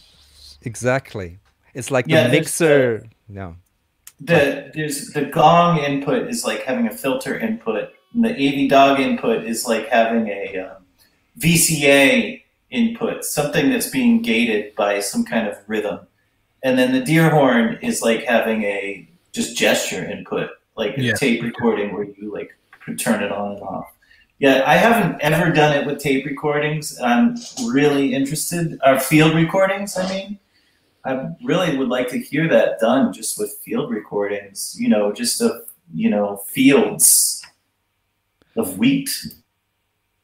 You you mean like re, uh, through the deer horn to run those through that? Well, through all three, just like uh, yeah, yeah. a city into one, and then a country into the other, and then maybe a river into the third one, or some, something like that. That's what I mean. Something with field recordings. That sounds yeah. like an album someone in the chat is going to make happen right after this, after after the chat is over here right now. That's that's a great idea. I also found that you can. Yeah, I also found that you can use the the mixer inputs on the the, the mixer on the left, the CV inputs, uh, that you can use those as a mixer, which was really lovely. So, just as a way, for example, yeah, to make the Sidrax, for example, use the Sidrax as like a, because that's basically now I my my playing style has been heavily informed by my work with test equipment, so I wanted to have something that would just. And so I put in like from the Sidrax, the oscillator outs into that section, and then suddenly okay, and then you can do this thing called uh, pulse mask mixing, where basically the the energy of the pulse will gate the signal, you know. So, and you can create all these crazy gated rhythms. It is. Oh, there's so much to discover. Maybe I'll, I'll make the video and it's probably going to be how to not play the Plumbutter, just so I have more fun.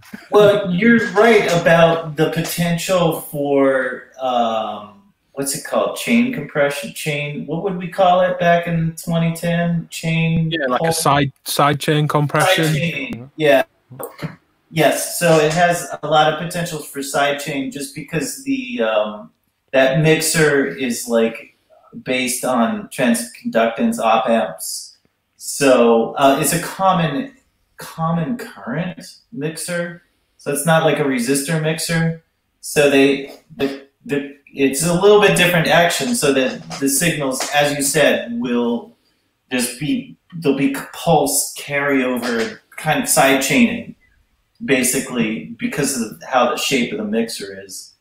I noticed that's on littleBits too. They have a very interesting. I haven't still figured out littleBits. Have you guys played with littleBits? Hmm. The call, like, yeah, the, the, little bit sims. Yeah, it's a cool little device. Well, collection of little devices. Did you not make a proposal to Korg? I just wrote that on. uh, just read that on your on your blog about a very interesting concept. Would you like to elaborate on that? Sure. I mean, I did, and they have it, and um, I mean, they were just uh, hiring, so I like to. I I applied. I filled out the form, and um, then I, I said, "Well, I'll present you with ideas when you hire me." But then, like the person that I am, I I I would think about things, even if I'm not hired.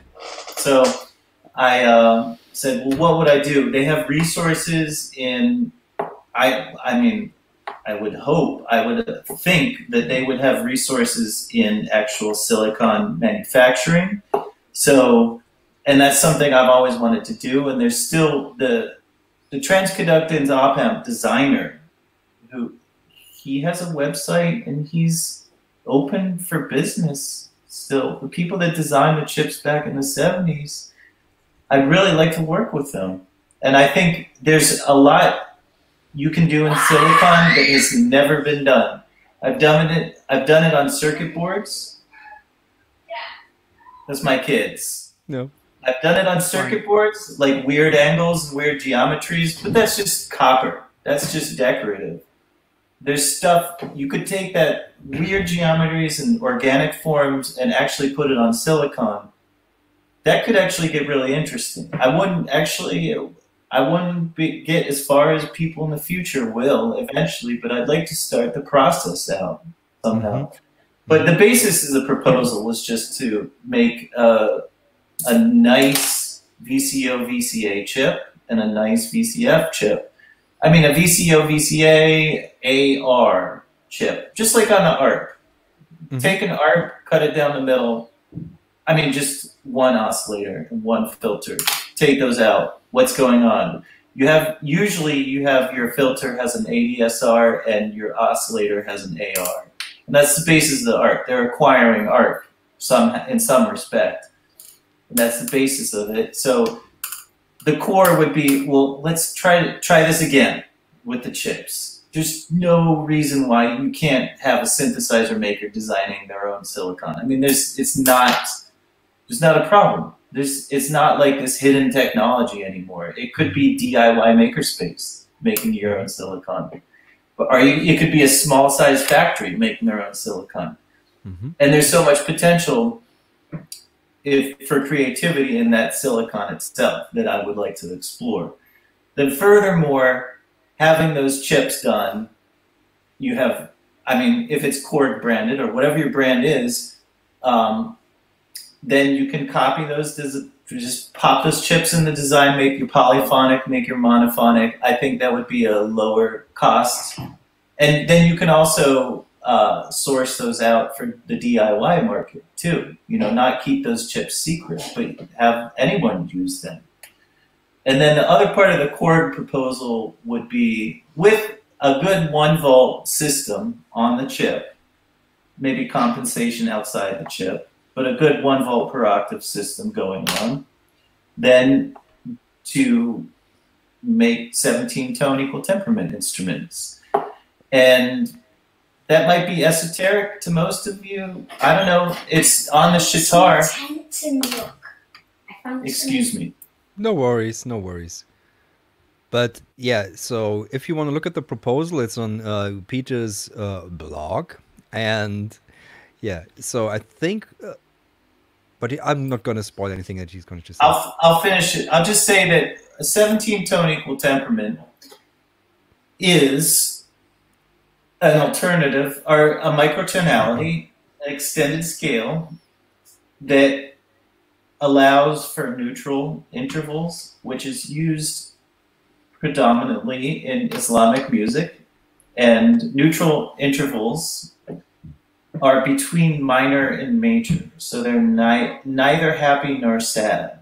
They're right in between a major third and a major and a minor third, right in between also a major second and a minor second, all the all the way up. There's a there would be five of them in a normal uh, 12 tone scale. So that's 12 plus 5 is 17. And if you do 17 tone equal temperament, it actually it, it does a great approximation of them. I've been playing around with it a lot. Now, true Islamic or Persian uh, music, tar playing, the player chooses their own. Uh, they choose their own interval base, and they can move the fret. It's a movable fret. It's tied on. So I couldn't do that. You can't just tie on wires. It just bad design. And actually, this project, the Shitar project, sat on the shelf for ten years Mhm. because I didn't know how to make a fretboard. And then I'm like, oh, the fretboard is the circuit board. hmm And then when I figured that out, that whole thing just sprouted out. And that's in 17 tone equal temperament. And Yeah. so this is um this is my idea on the world. I mean, I we have so much 12 tone music and I think we could it's weird that we don't have Islamic pop. We do have that kind of music. But it's weird how the world I'm in Neukölln. We have that. Yep. Yeah. I'm sitting in Yeah, Neukölln and- where it's like blasting from every like uh, second car. So I want to be there. I want to meet some of the produ- There's probably some immigrant producers sprouting up in your town right now that I'd like to meet. But you know, this I'm not that good at personal relation. I should be. I'm just a visionary that I'm trying to make this instrument that we can all use, and that you know, you said in the beginning about Meng Chi and his pentatonic scale. Yeah. And this is where we came back to. Yeah. So now we're talking about not a simple scale, a more complicated scale. hmm So you guys should be able to get that because you're Yeah. doing synthesizers with thousands of different random scales on it. So you should be able to get an instrument in 17 tone. It shouldn't be a problem anymore. It might have been a problem, you know, when everyone was more like a synthesizer player who came from being a piano player, right? Yeah. That would be like a 70s thing, you know. Mhm. But that's not anymore. You guys just already play weird stuff. Mhm. I'm assuming that about you. But You're I think assuming kind of right. I think. accessible. Yeah, and uh, so uh, I hope Korg picks this up because that would be like the most amazing of all the Volcas or something. Like if you have it like, do you, were you thinking about the Volca format for this when you designed it, always think of something bigger, or what kind of format were you thinking about when you proposed it to Korg? Well, it's all formats. So there's the I don't know what the Volca format is, but I'll just I, I know they have the large workstation. So there's a large analog workstation with uh, it could ha- it would have an MCU controller. I mean over everything. This is gonna be have a really creative USB control on it. Okay, thank you. That's So like that the size. That's the mixer. Volca. Yeah, but Uh, at least this is kind of like the the size and yeah. I'll have to show if I can show you the. Do you have a Volca? Do you have a Volca somewhere? I should Oh yeah, I'm sure. FM somewhere. Yeah, here. So just because we're talking about like because there's free like there's freedom of movement already like in because you've got these keys basically, you know. I can't see you. You can't yeah, see your, me. your your screen is. Yeah, you. Yeah, you froze. I hope I'll come back. Am I coming back? Let me know when I'm back. Well, we can hear you. Okay. But basically, the idea, i my idea was the chip creating the silicon. It would be one step, and then the other step would be integrating that chip into all the different formats. I Ah, understand okay. that there's years. There's you know the workstation one that with really big one with maybe even have weighted keys. Just the idea of designing a 17 tone keyboard for all those tiers down to the monotron. I mean, they have the encapsulation of the analog. Uh, the whole analog scheme in their brands. I mean, that's what you do as a synthesizer maker. You encapsulate the polyphonic and you encapsulate the monophonic, and you kind you do fill in between too. But yeah, so the the chip, uh, a piece of silicon core oscillator core should be appropriate to all those tiers, and this rescaling, this creating this new scale should be appropriate to all the tiers too. And you can see that in that proposal. I, I did a sketch of the monotron end of the uh, workstation, whatever it's called. Cool. So I hope, yeah, if that happens, yeah, that would be pretty lovely. Because that would probably also mean that you're moving to Berlin or something, right? Because that's where they've got their new, like, they're building the headquarters here and stuff like that. Yeah, well, I have to be in and out when Corona's done anyway to come Yeah. to Darren, and we're gonna, you know, I keep on. I have to do checks on the process, the wood. It's mostly about the wood, trying to get the wood. They have a better machine than me, so they already have they have uh, extra abilities than I can do here. So. Um, yeah, I just want to keep on making them better and make sure the design is clear. I send them files, Mm-hmm. and uh, yeah, I send them in millimeters, and they're in inches over here. Everything's converted. So this is my son. Hi, like nice to see So- you. Yes, Hello. too. Hi, Is how it- you is it doing? the- is it the country, the sun with the, The count, uh, country rhythm, or the elder one? What was that? I'm saying, is it the sun with that has the country rhythm that you were talking about, the country bit beat, or is it the elder one? No, it's this is not the country beat. Oh, nice. Ah. Speaking of earlier instruments, I picked up uh, from Patchpoint. There are a few of your earlier experiments uh, exhibited. So uh, you sent a few over, and I picked up this one. So, and is there an official? First of all, is there an official name for this instrument? I can't see it, but it, I think I saw it earlier. Is it? Can a nobody see me? Instrument. Is my stream really down? No, no, we Yeah, can see. your stream. Yeah. If No, I it's down, can you okay. okay. Can you see it now? Oh, you you guys can see it. Well, if everyone Yeah. else can see it, I'm cool. I think I know what it, it's. Uh, turquoise colored, right? Turquoise, yes.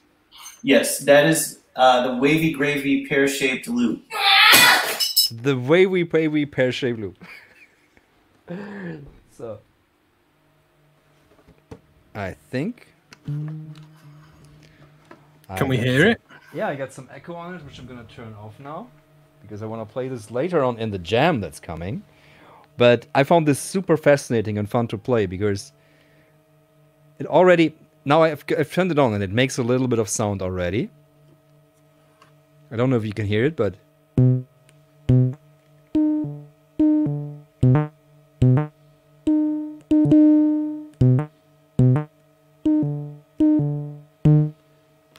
and then there's the relationship between these and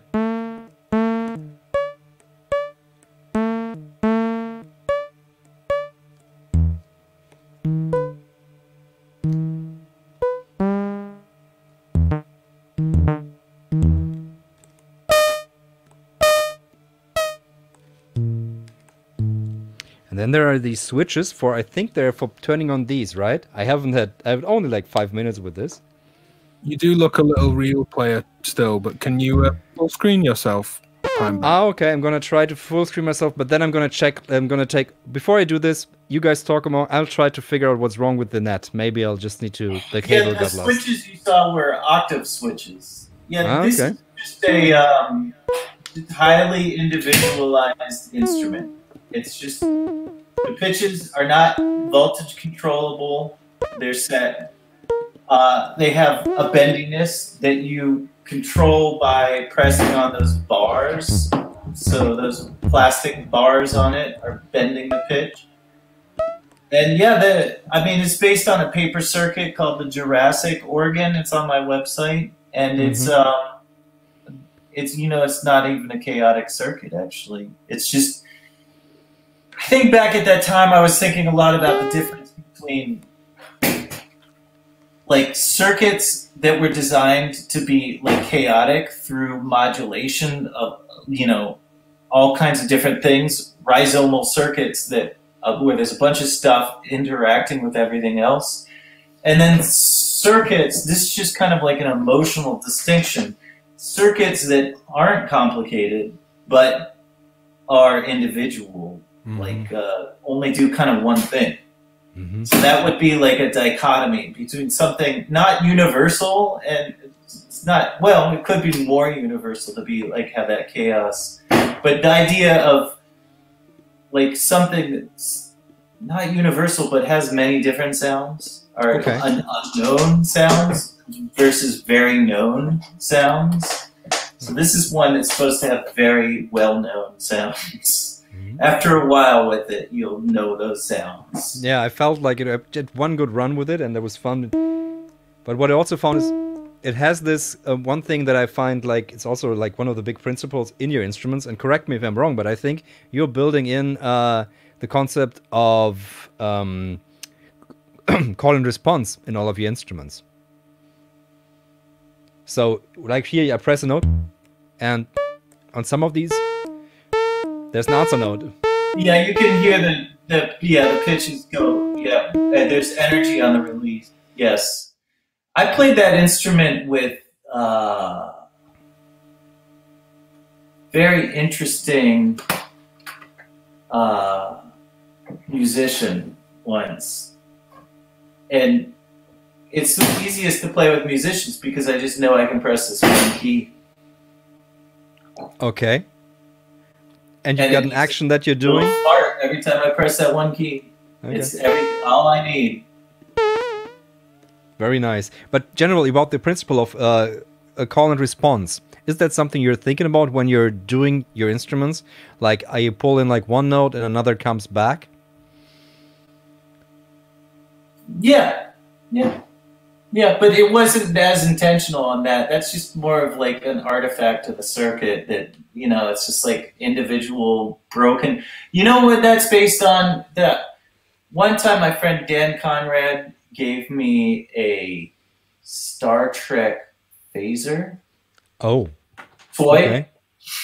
not to, not real one, but a toy from the '60s, back in when it was actually sent, you know, in back in the '60s, and it was you could tell it was made by just a few transistors, and it would be like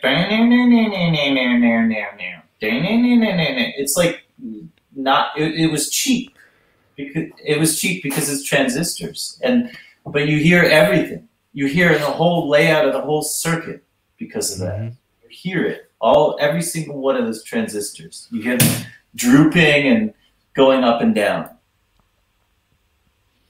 Yeah, but for example, like something with the Cocoquantus, I think, like that you've got like positive and negative CV inputs left and right for both the loop and the input. I think that made it for me like the instrument that made call and response, which is a hard thing to realize in um, a synthesizer music.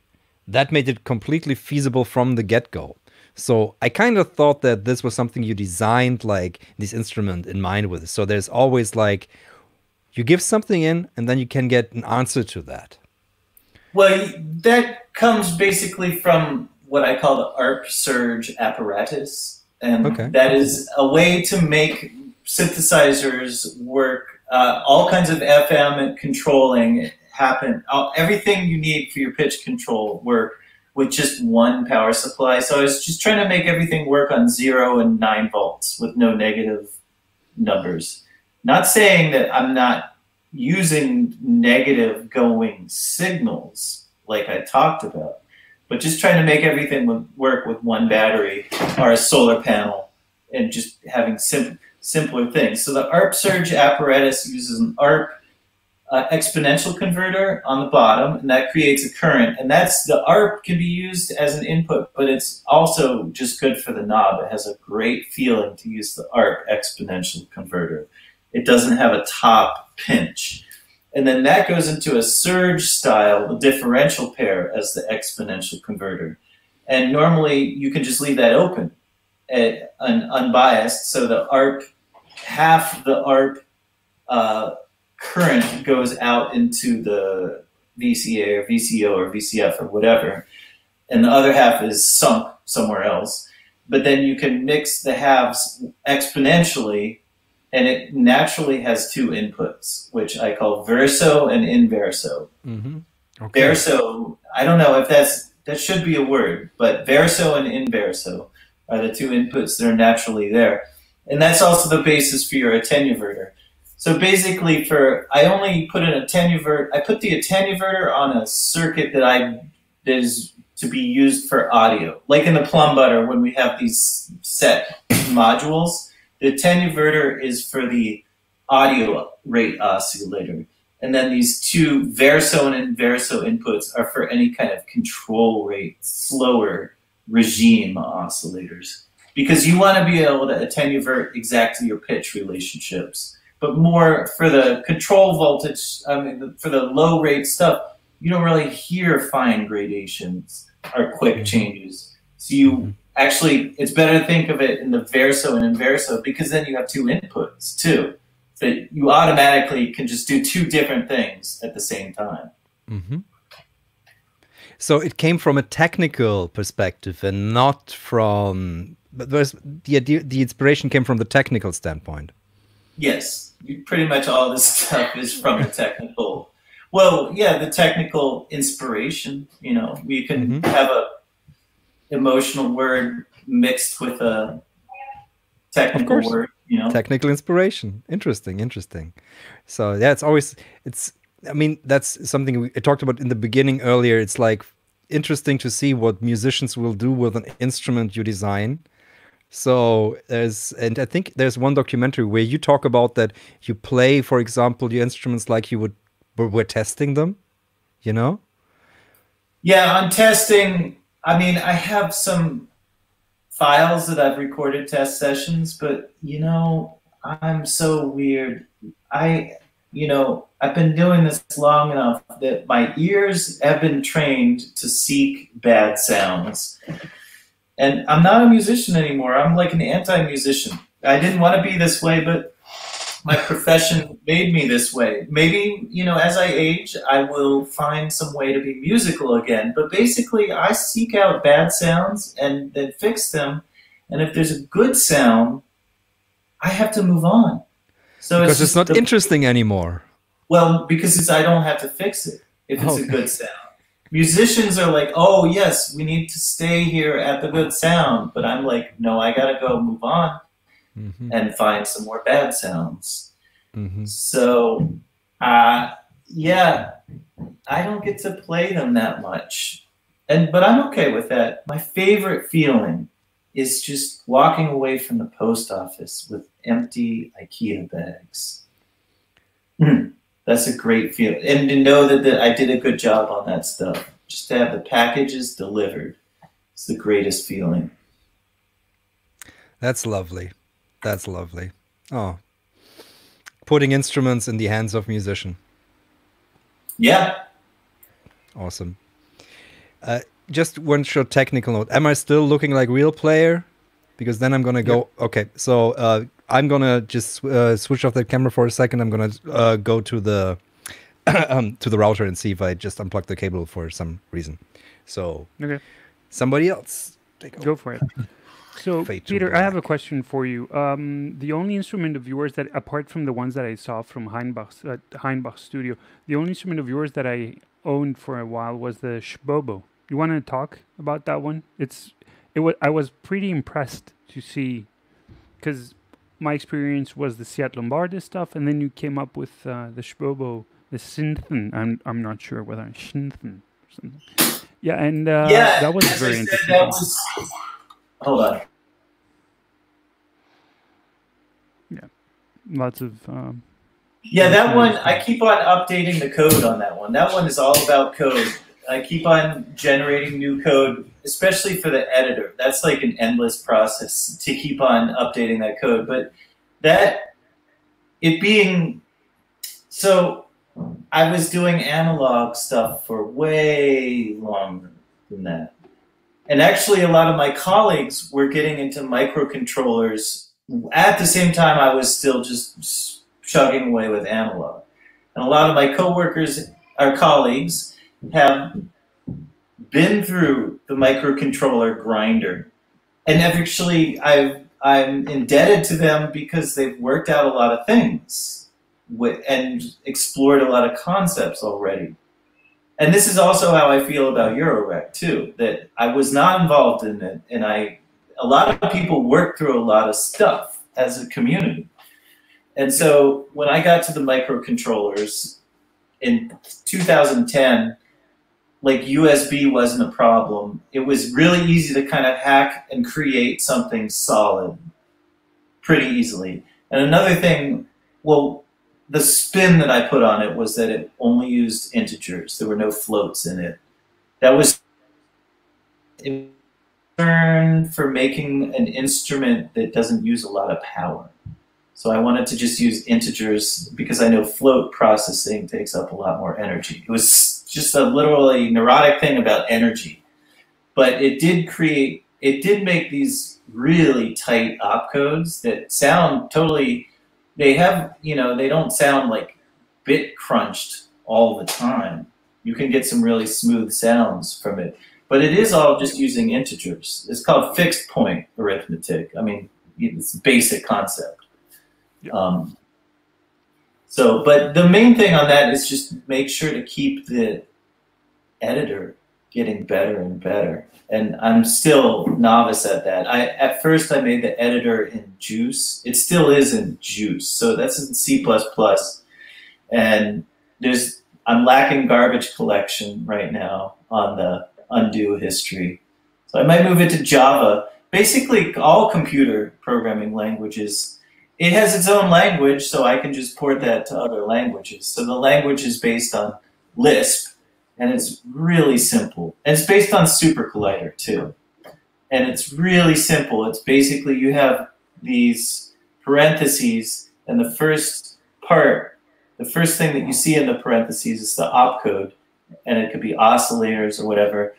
And then the rest of it is parameters, and then you can nest other expressions, and that's how you patch. And that's how SuperCollider was, and but it's not really how Max is. So Max is trying to imitate patching, like connection, Yeah, right? exactly. And that's that's that. But I feel like Shlisp is the name of the language. Yeah. It's actually interpreted just as you see it. It becomes these bytes, byte code. An open parentheses is FFFF, and a closed parens is zero. And everything else in between is just numbers. And it's interpreted right as exactly as you see it. And also, when you put it into the editor, the text, uh, generates that the image on the editor. So it's a it comes from a 1D stream and makes a 3D image. Whereas in Max, you can't put it down to a 1D stream of text. So the code actually becomes the visual representation of it based on where the returns are and the close parens. And there's a system for presets, which is um, using curly brackets. So you can have different situations or whatever you want to call them, and then jump between them. And then there will be, uh, as kind of neurotic person, I'm like, okay, there's square brackets and there's caret brackets too. And those will be how we're going to do scripting on the host side. So you're going to be able to do expressions to randomize our, our spread parameters, our create different nested presets from an expression that on a host, and then that creates the bytecode. So there's going to be Lisp on many different levels. So it's just expanding all these computer science concepts.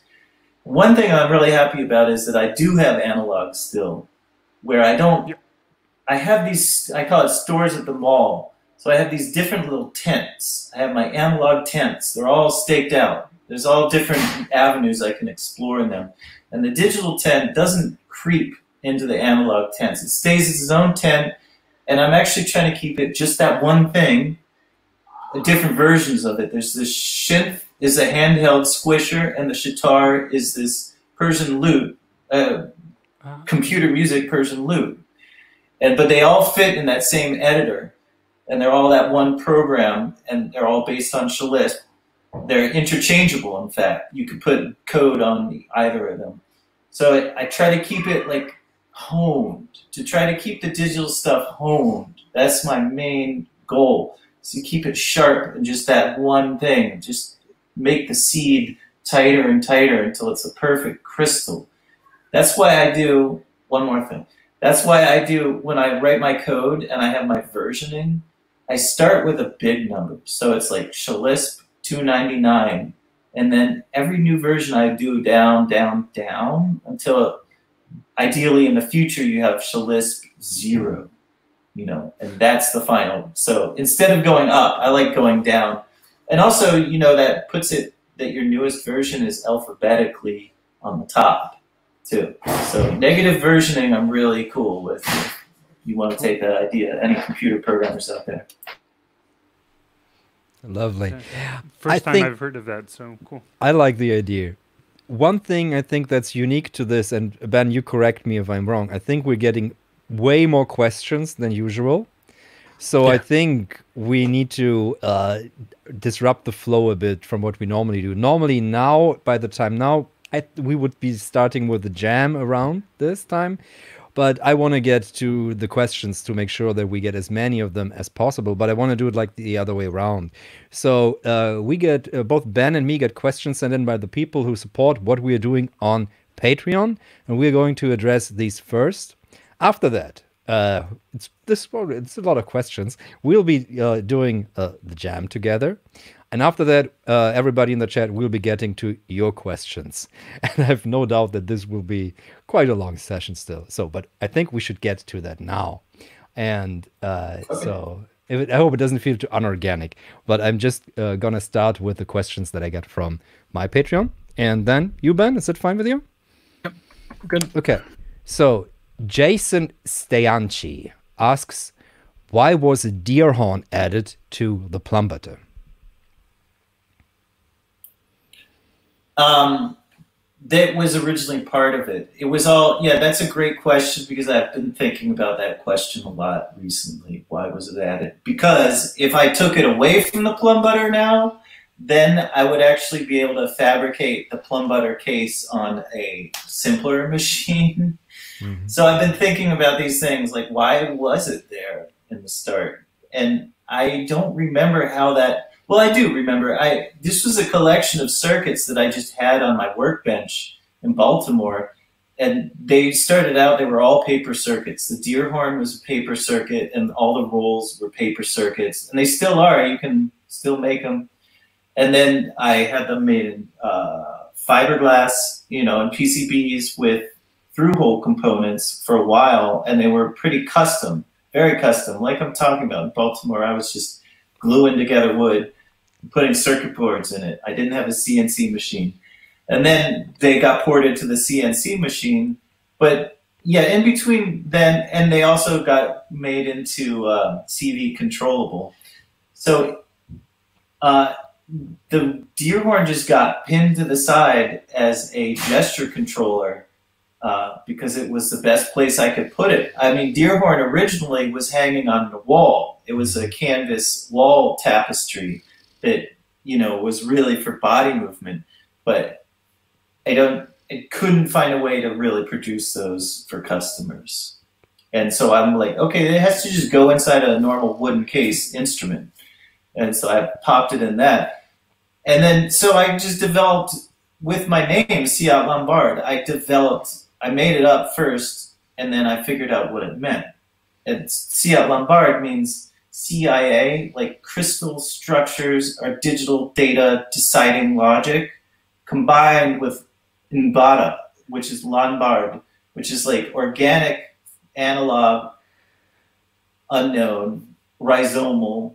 So just the Deleuzian dichotomy between arborescent and rhizomal is what Ciat-Lonbarde became. And it was just a, now it sounds like, I mean, originally I was like, this is a cool, like, Louis Vuitton name, you know, nice, you know. But then I figured out the philosophy. So same thing with the Deerhorn is, the philosophically it became part of the drama. Like I was like, I'm gonna make a drum machine in the beginning, but then I'm like, but it needs drama too. Mm-hmm. For so, this relationship between pulsy stuff and squishy stuff. Mm-hmm. Didn't I wanted to make it not just a pulsy thing, but have it have squishy stuff. So that's what that signifies. Well, and then that's the that goes along with the relationship of urban and rural like s- gridded structures and then like organic mountain roads. And then now I'm like, if I took it away, I can't take it away anymore. It would it would mess up the instrument now. So I I I've been wondering how could I take it away, and then I'm like, I can't anymore. So it's part of it. So I have to just accept the explanation that I made up.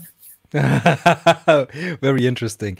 Uh, I could like ask even more questions about the plumbutter, uh, the, deer horn in the plumbutter versus like the deer horn in the deer horn organ because I feel this, but I'm not gonna because there's more questions.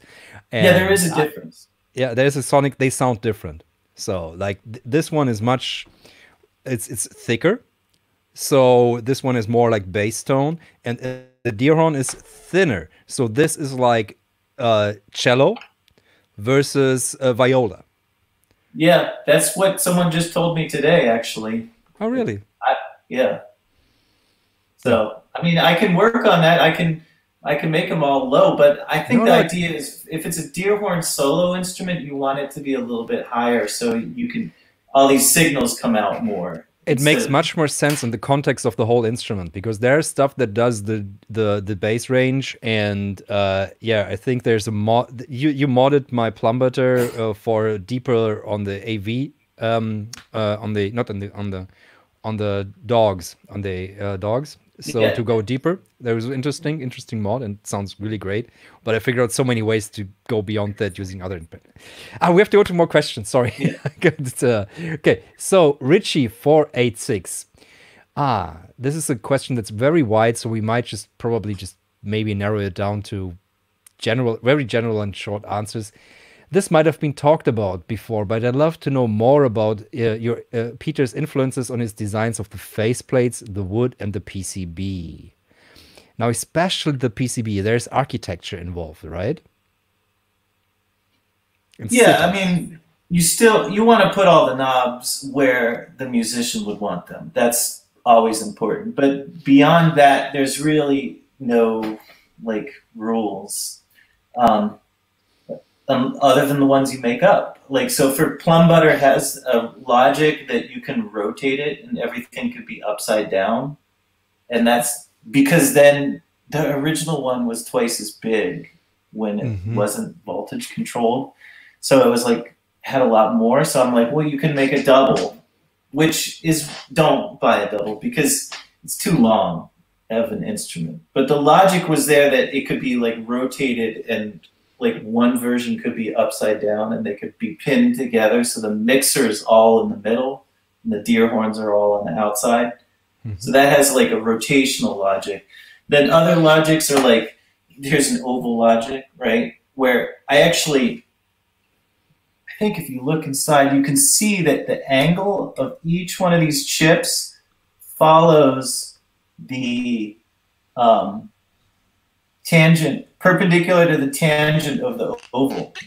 And so I made a script for that that was like, like that was a rule that I made up. Like I'm good enough, like a circuit designer. I want to make a circuit where I where it looks good, and it's not because of what I made up. It's because I mean I put the chips down, but they all have this nice relationship to the tangent of the oval, and I made a script for that in the program, and that I accommodated that, and all the design was accommodating that nice look.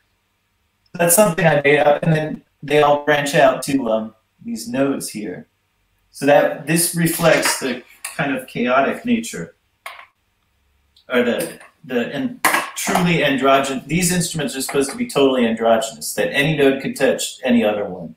Is completely intuition and no manual on that one.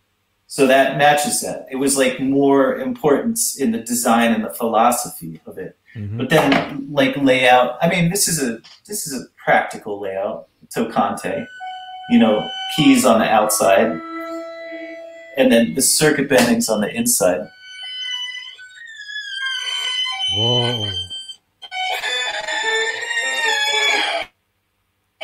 the keys on the outside.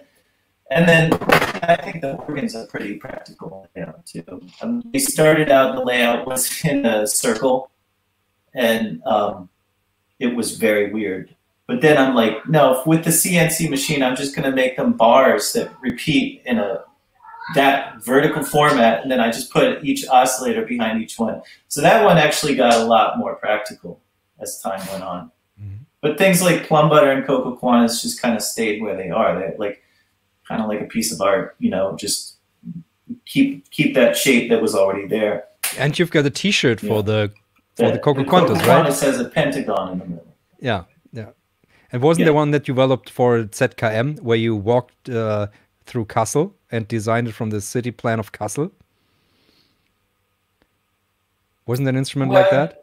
That has the city plan of Kassel? Uh, Kassel- I think it was uh, oh no, Kassel. It was um, forgetting all the- Karlsruhe. Karlsruhe. ZKM. Where's ZKM at? It's Karlsruhe, Karlsruhe. Yeah, Yeah. Okay. which is Yes, an oddly shaped um, city because Yeah, it was built for the king. It's like a weird plan to it. Yeah, yeah, built And for the like king. a intentional, like the prince made this circuit design for his city. Exactly. And- but exactly. it relates to the river and the woods, roads, the paths that were already there. Yeah. So it's a relationship of the the striated and the planned out crystalline structure at the middle with the organic stuff on the outside. Yeah. So let's go further to the questions. Oh, this one is from uh, our buddy Myler Melodies. Oh my goodness. I would ask genuinely how, in quotations, experiments in mood, mood altered states influences synth design and what insight he has gleaned from them. You don't have to answer if you don't want to. You mean drugs? Probably. That's what he's talking about, I think, in Veiled. I have some San Pedro growing in my shed, but that's like for like real like emotional psychedelic. And there's mushrooms. I'm I signed the ballot initiative in Oregon to legalize mushrooms for uh, medical. So the mushrooms probably will be legalized here. Actually, in Baltimore, I was. Uh, I knew the people that were involved in the Johns Hopkins psychedelic study. The uh, they were doing salvia divinorum and mushrooms, and the mushrooms is uh, a lot of the stuff they found with mushrooms was for people as they get older, and Mhm. even to deal with the idea of loss and death. Mushrooms is like very. Uh, let's put it this way: there's synthesizers, there's drugs, and there's the rest of your life, the rest of my life. Okay. And so I use it for the rest of my life too. Mhm. You know, and a lot. I mean, when you come down to it, a lot of the design stuff, as we've been talking about the whole time, is just based on real world decisions. And they could be as you know, they could be. You could treat it in the most drugged out way, but it's still a real world decision. Mhm. You know, picking chips. And I think like the inside question was one thing. Like, did you does it gain any insights from that? Yeah, yeah, Yeah. absolutely. Yeah. Okay. Good. So next one. That's a very specific name. That's Gavinsky's iOS music app tutorials. And the question is Nomen est Omen. So when are you making an iOS version of Cocoquantus for us? Smiley face, don't kill me. I'm 50% joking, only 50% serious. So any plans to go completely digital? Here, I'll do my reaction.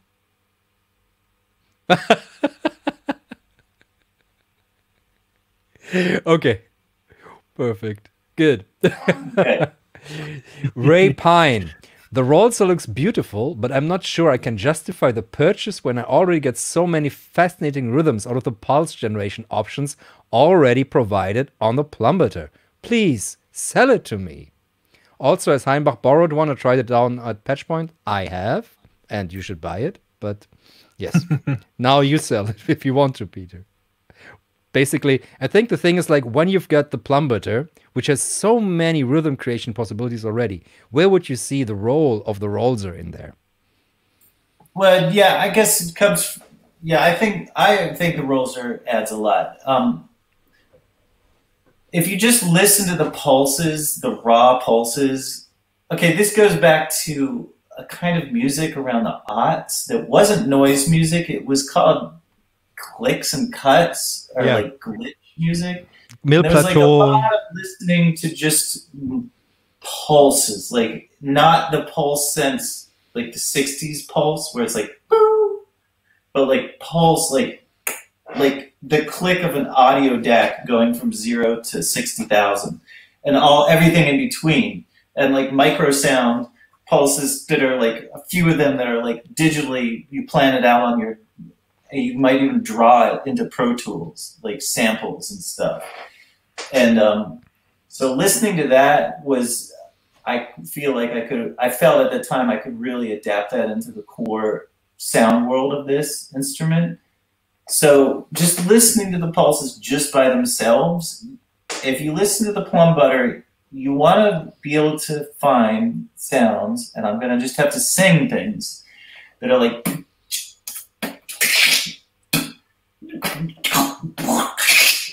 maybe something that repeats, but maybe something that repeats in a really weird way, or there's a limp to it, um, or it's not a perfect rhythm, and it has little potpourri of little like squirts of ultrasound chaos, and that's what the goal of the original was. And I felt like it didn't. So in the Plumbutter, I put voltage control on each of those uh, pulse oscillators, and I feel like that voltage control created a regime where one could be stronger than the other, and it could kill some of those potpourri sticking mm-hmm. out. And also, I didn't have a five rolls or a six rolls on that, and I wanted to add those because that was in the original. So that's how they came about, and it. I wanted to do it fully and do it nicely, and so they're not random capacitors. There's a set of seven from one microfarads to 10 microfarads, like pretty big caps. They're for making pulses. And it, uh, it follows the Tocante scale, which is like a kind of logarithmic scale. So it's very safe to use for musicians to think about. Um, it's because it's tapered just right already by just the parts. And yeah, connecting all these weird rolls, you get, I think you get a lot more of the squirts and the chaos. And so when and it's nice that it's separate because you can get the you can play with the Plumbutter for a while and then when you really want to just start with your ultrasound analysis of the pulse material by itself, then you might want to branch out and add some more um, chaos. Good. I think that should answer that question. And Cosmos Kister, who's also been on the chat, asks Do you catch new designs while going fishing? Well, I'd like to make a fishing rod that's like a sensor. That I think that actually, I think most of the, I think, like I said about the rest of life, that's kind of like the rest of life. But I've been getting excited about. Um, I, I just love watching YouTubers because I'm trying to just you know try to keep in touch with the millennials, but uh, the YouTubers do a lot of gestures like YouTube fishing people, and I would like to just explore. I've been telling my kids I want to make the sound of fishing. So just those little brrr, everything you feel with the rod. There is a lot of gesture. Yeah, yeah, yeah. And so that's I don't know if I can sell that much because it's not that popular. but I'd like to just explore that. So Let me say, I never would have expected such uh, such an answer from this question, but I think Cosmos Kiss has insights that I don't have. Awesome. Chris Golden, can you speak on musicianship in a wholly electronic paradigms of music creation? In the future, would you see it as important that instruments such as yours are seen and respected in a league with any of the instrument of history, such as the piano or guitar? Hmm. Well, no, I think we are synthesizer makers are branch out by nature, and I think we'll always be making new pieces. I think this is not. I, I'd like to fit into like the 20th century was a time of invention, right? It, like uh, for just electronics by itself, but then in electronic music too. It was a time where you could feel like you were making something new and you could claim it. But I but you want to take but um, i'm not worried about inventions anymore i'm not Yeah. worried you know it could be stressful to be like man what am i going to invent and i'd like to create a par- uh, be part of a paradigm that i call the thousand years post electronic medieval times and the core of that idea is that no, there is no more, nothing new. We're going to just actually like enjoy what we have, like how the Romans en- enjoyed steel or whatever. When you know when iron was iron forging is one event in thousands of years, you know, and you have these steps, not a Moore's law. What is that? Are the Moore's curve, the Moore's theorem? We we get infinite technology in a few years. What? But you know, like 2001, we are supposed to be on Jupiter. Yeah. Um, so I'd like to just fit into this more mellower thing where it's like a bell curve. We have an acceleration of the 20th century, and then we just chill on it. So I think it's a craft, and people will always be making new instruments. And musicians, of course, will always be musicians. And there's the relationship and we have that all pretty that's a human thing that we already have all worked out so i think um, for musicians one thing you can learn from musical instrument makers if i could be unhumble enough is that we think of um, we think in terms of what we have to do tech- technologically or what we're given as our technological materials like i said the piezo goes negative and positive so we get neurotic about using all these uh, new gestures. Like I said, the negative and the positive creates the reverse attack, which actually Stockhausen or whatever, all the good early electronic musicians use for great effect. So just pursue, if I could give you one thing, just generally a compositional tip, is just pursue the all the materials that are available and don't try to just uh, get the one that you know, like the real world attack, boom. But just try to get both. If there's a balanced system, find the other half of it and try to pull that out. Very lovely put. Very lovely put. Gregor McNish, will there be more Shbobo instruments? Are there other plans for the platform? Yeah, there's one that's a really uh, deep concept of a uh, whole whole uh, a bunch of 8-bit microcontrollers in a mess with a 32-bit controller controlling it. Actually, it would be in the shape. It would be an oval shape, and then each one of these would be an 8-bit uh, a microcontroller of its own, and there would be a core of 32-bit. Um, it's just the idea of the distributed computing that you would be circuit bending, but that is way far off, and I would need to figure out a language for that too, because then you have another when you have you have another nesting, and then I would probably use geometrical shapes as the language for that, and then you can't type that on the keyboard, so there's a lot to be figured out in that. That could be that's optional. Let's put it that way. All right. There's so much like there's so many ways I could um, uh, sink hooks into this, but no. Let's go on to the questions. Poor Rick, I'm new to CL Instruments, but I've never, but I've been a long time admirer of your work, especially since owning the Sidrax. I've thought a lot about how an instrument's design can encourage a certain, a certain kind of music creation and performance. For me, your instruments seem to stress improvisation and spontaneity. I wonder, when creating designs, how important it is to you to build in characteristics that limit a player for making traditional musical choices. Might you have an example of a decision you made as a designer against a certain feature?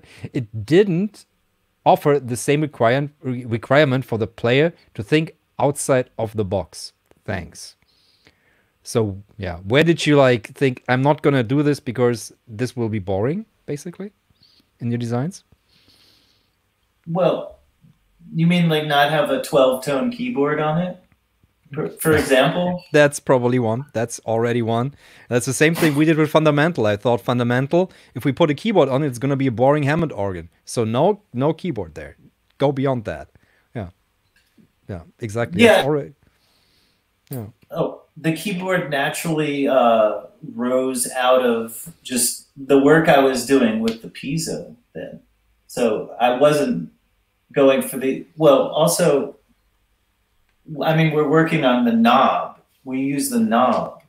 I mean, a slider is a knob, but that that's our expression too, and that creates the tuning.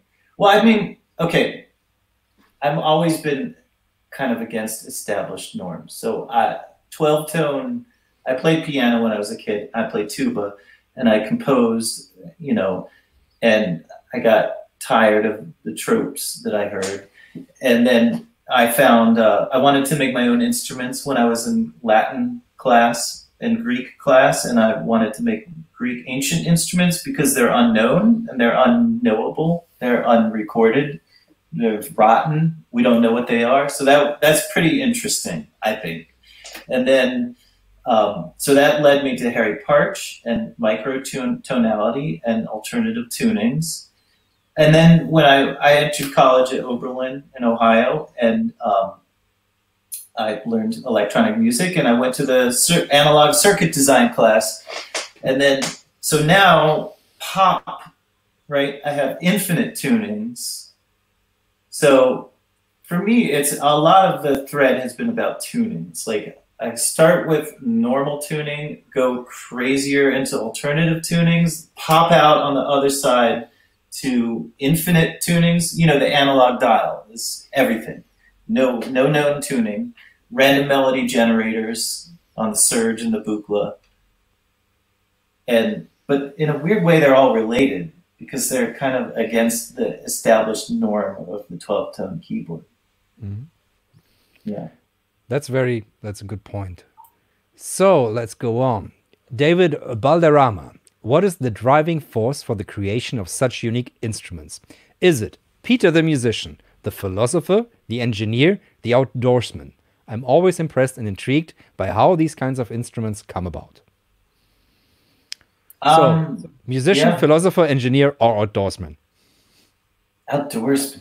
I, I should like stop advertising my outdoorsmanship. Well, oh, what do you think? Do you think the outdoorsman thing is okay? In the does that look good to you guys? Does or You look pretty outdoorsy. you can be out? Okay, okay. then I'll choose that one. Okay, so it's the outdoorsman. Okay. Chris Van Hier. Any plans for adding external modulation patch points on the shins and fish support for that? Um, well, the you know the Shtar actually has a Eurorack input. It has Oh, two really? CV inputs. Yeah, they're Oh. they're ganged with the pots. They're like mixed Hmm. with the knobs. Yeah. I'll have So the. Shtar has that. Yeah. I'll have to borrow that. I have to borrow that and play with it. It's just hanging at that Yeah, point and it's like laughing think- at me and I saying mean- like, "Ha, this is beautiful." But Yeah, it's like uh, it's like optional functionality, but I thought, well, I mean, if these are just knobs, then I might as well put an input there. And um, I mean, then I thought, yeah, it probably would be cool to be sitting around playing your sitar and playing like a patch, and have someone send you like a pulse to go along with the rhythm. So that's just a total practical, cool. you know, bottleneck right there. Uh, Chris has got a second question and a third. So, any workshops under the high on the horizon in Europe? Probably not because of COVID, but or remotely. So, like a streaming workshop or anything like that. Well, I should announce that. I mean, the Tok the Gold Tocante workshops are over. Uh, you guys did great, Oh. and we had a lot of fun, and like you shared them with a lot of other people, and it's just I don't really have time for it. But I will be. I would love to be around to personally answer your questions if that does sync up in the future. Absolutely, I will be available personally for your question, technical questions. And um, the Tocante workshop, I wanted to say, okay, I'm sorry I can't do them anymore. It isn't really financially, it's good, but it's just, uh, it's actually environmentally not as good because when you do a workshop, it's not a controlled environment. The the fumes do leak out. You know, when there's just a bunch of people soldering, it's not the best. I, I mean, I have a lot of fume control in the workshop here, and so do they in Patch Point at the when they're making the instruments. So, but to address to say sorry for it, I did make this one. This is specifically to say sorry for no more workshops, and this is a through-hole version of Tocante, and it's in circle, triangle, and square, and it's so it's through-hole transistors and resistors and everything, and on the inside, this is all the um, amplifier and battery controller circuitry. And that's why it has this covering of nail polish to make it pretty, but it also, those are nodes that you're not supposed to touch. Uh, versus these nodes over here are, are um, all, you're touching all the transistors and stuff. So these are available, and these are like the workshop ish thing that you could try to make one and say, "Hey, it's broken. When it, are you going to be in Europe in a year?" And I'll have like a session where I try to look at people's stuff. So I I'd like to say that I'd still be available, but I can't do the gold workshops anymore. Those would always sell out. Mhm. So That was okay. And one more question from Chris. Given your interest in the organic aspects of the instrument, any interest in doing something with squishy controllers? I'm not saying Roli, but along these lines. Do you know the Roli that he's talking about? the Roli R O L I. Yeah, uh, yeah, exactly. Yeah. Okay. Yeah, well, they actually, I know about them because they own JUCE now, J U C E, which is the C Ah. audio visual programming library that I got really good at. It's basically like Java inside C. You know, as such, it's there's more risk from your memory memory leaks and stuff. But yeah, so they own that. So I'm kind of plugged into them already. But I, yeah, I I do you mean you mean a USB thing with rolling? Yeah, probably something like a controller or something that's squishy. I think that he's thinking Yeah. about to have something Yeah, available I'm, like that. I'm always available to consult. I think Okay. as far as like piezos go, I think if you had watched this video, you would understand perfectly how piezos go. I, I don't think there's anything more to say. I think anyone could do that. I think they could do that without me Yeah. too. So as far as consultations go, I don't know. I, ha- I haven't done many. I think I'd rather actually prefer to focus on teaching kids, like in a college setting, than consulting with companies. I'm don't saying I don't like that company, I'm thinking I'm he's not talking that I about. don't know exactly what to offer. I'm not. I'm thinking he's not talking about consultation. It's more like uh, if you want to do your own squishy controller. You know, like if I you, want to do yeah, if you want to do your own squishy kind of controller, I think that's the question. Well, I kind of don't. okay, I like just the wood. It's not pervy, but any farther into squish would kind of get pervy, which is cool. But I'm just, I just stop at wood. That's my speciality is wood, and you just mm. can't make anything pervy with it. I mean, you could, but you get splinters. Hmm. Konstantine. Yeah, I'm just thinking of the. Um, uh, I'm gonna say I think it's like the third time on these these streams that I mentioned it about the Haken audio thing and uh, Hainbach when I because I was very interested in that one and Hainbach said yeah it kind of feels like touching a warm diver and it, I just ne- never it just killed it for me. It went yeah just per- too neoprene. pervy. Yeah, Yeah, it sounds gonna- fantastic, is- but it, the There- texture is weird. Cool stuff in squishy. The, the squishy is a legitimate thing. I know an Alzheimer's researcher artist. Um, there's research on interfaces for people with Alzheimer's. You know about uh, tactile interfaces and non-symbolic, non-linguistic interfaces. So it is a totally legitimate thing. So what I said about pervy was kind of just where I'm coming from. But I do know that this is a totally legitimate field and it should be continued. I'm just one guy. I'm not the inventor of Squish. I think you're absolutely should be done more and more, and it should get better until it's like a college class on squishiness. You know, just lay Squishiness down 101. the grammar of squishiness. Nice, nice. Elliot Bates. Beyond the sounds and playability of the instruments, I've long been interested in the artistry put into the circuit layers that Peter creates too, some of which seem to be figurative or perhaps even mythological drawings. Is there a connection for you between these circuit level figurative aspects, musical sound, and say perhaps the unique identity each of these instruments have? Or put it another way, might you be starting with a question like, what would the noise be the deer antlers make?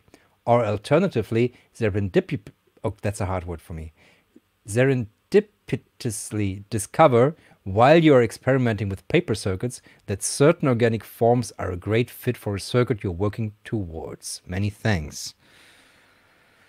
Well, I think that some of my early Yeah. paper circuits were bad. There, I've seen some bad designs back there where I went overboard on t- deliberately messing up the parts.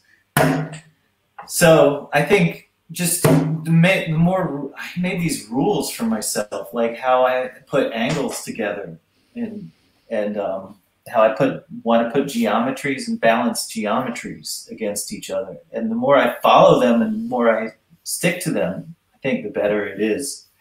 But the organic shapes I kind of just drew and rounded them. They were they just trying to make some symbols there that you could follow because the CNC bit can't cut text. I mean, it could kind of cut text, but it's better to cut just like shapes with it. So just trying to make symbols, the shapes that are symbols and layouts that um, it doesn't, it can't say words. So I have to have like a shape that kind of shows what how it works. And All right. That's all for the questions that I got on my Patreon. Ben, did you get questions on the Patreon? Yes, um, not as many, um, but lots from the live chat to follow later on. Um, Chris M asked me. Um, he said he'd really love to hear how you approach designing a new instrument. Um, is there suddenly a ready-made idea in your head, or is it a particular moment of inspiration that needs further exploring and experimenting before it's refined into an idea or a new instrument? Uh, yeah, yeah. There's like the moment with the Shtar was when I figured out that you could make a fretboard that is a circuit board and how to like fit the frets. Like I bend each one and I pop it in the board and then I made this nice bend. Just when I figured out in my head that I could make it look nice, then the go ahead went on that. And then with the more weirder instruments, well, I mean, back to the Plumbutter. Let me just say real quick that one is like the most inexplicable how I went about that. It was just a process, you know, of making, as I said, an instrument that is in kind of individual, like drum machine, has a lot of personal choices on it. And it's just over 10 years, you know, there's a lot of personal choices in that. So that would be for the young artist, the goal, the lesson from that would be to like always keep the work that you have from the past and keep on building on that and changing it or reusing it. Um, and Yeah. Yeah. Um, Dang asked, um, it was following on a conversation we had about um, kind of making no excuses for your own expression and musical validation, which is a completely separate side conversation. But he said, relating to the stream and to ask you, he said, do you only care about the musical output of things, or is anything ever done purely for a business validation reason? I imagine the answer. I can imagine where the answer would go, but he said he doesn't want the question to be as cold as as that. He said, "Is it sometimes a case, business-wise, of filling not just the ma- an, an area in the marketplace, but an area in your own lineup? Is there ever a thought Yeah. of, I don't So- have X, so I should work that way in my kind of arsenal of gear?" Yeah, it's a good question, and I made bad choices and good. Well, um, well, with Darren in Patch Point said, "I only sell bananas," so that was like that was interesting. So that a business thing would be like that kind of decision, like saying something like, "I only sell bananas." Like, what are your connectors? You know, and that is actually a valid thing to think about as a business, and it's cool and in Germ- in Berlin, there's Schneider's Schneidersladen and there's Patch Point. I'm sure there's others, but to me, those represent your uh, two different kind of connectors, you know. And so, yeah, there's a lot of the art in the business for sure. Um, just a related question, because it did it come up several times about Patch Point. Um, I know a little bit about this, but I'll let you speak um, to that point. People asking, do Patch Point build? Uh, do you benefit from Patch Point building your equipment, and is that built under license? People are curious as the relationship between you and Patch Point. Yeah, they have a turnkey license where I provide the boards and then they uh, cut the parts in the Czech Republic.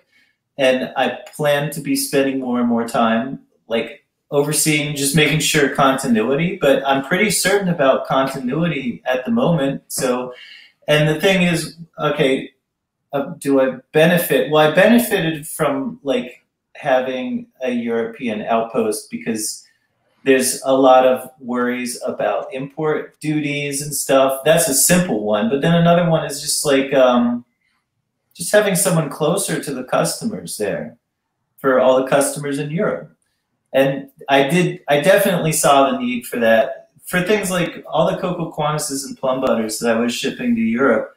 And I was really thankful for all that business the whole time and but it just uh, made me focus more on the American market and the Asian market too. I've been selling a little bit there, and um, well, mostly to Japan, but Mm. yeah. Um, so they they it's legit. They have a license. You know, Yeah. they have a turnkey license. It's totally legit. Yeah, and I and I like check. I, we have manufacturing processes in these documents, and it's all totally legit. Yeah. i mean and as I, you said I, i'll just say that Mung Chi is also totally legit, but in a totally different way. Mm. Like, he's his own thing. That's cool. Yeah. Too. as you said, the wood if you buy from Patch Point comes from the Czech Republic, is the difference. Um, yeah, yeah, yeah, yeah. Yeah. well, they have Making- plum, plum wood. Mm.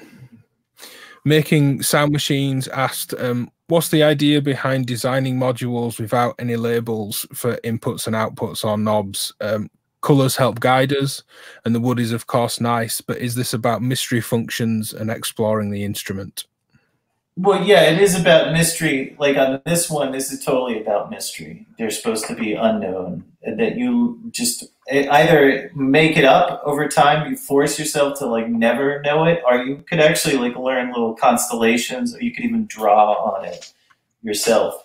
But yeah, the cocoa Cocoquantus and the Plumbutter are the most like um, traditional in the sense that they have inputs and outputs. So I did have to like label it in these other ways by using shapes. I do use some letters on the Cocoquantus, like some distilled letters. There's input, feedback, speed, effect, skip, and flip are all those first initials. And then um, as far as inputs and outputs, that's just standardized, as I said earlier. I think it's on the ordering page everything's stereo mini. So there's stereo mini outputs and stereo mini inputs. And yeah, you're supposed to kind of take it from there.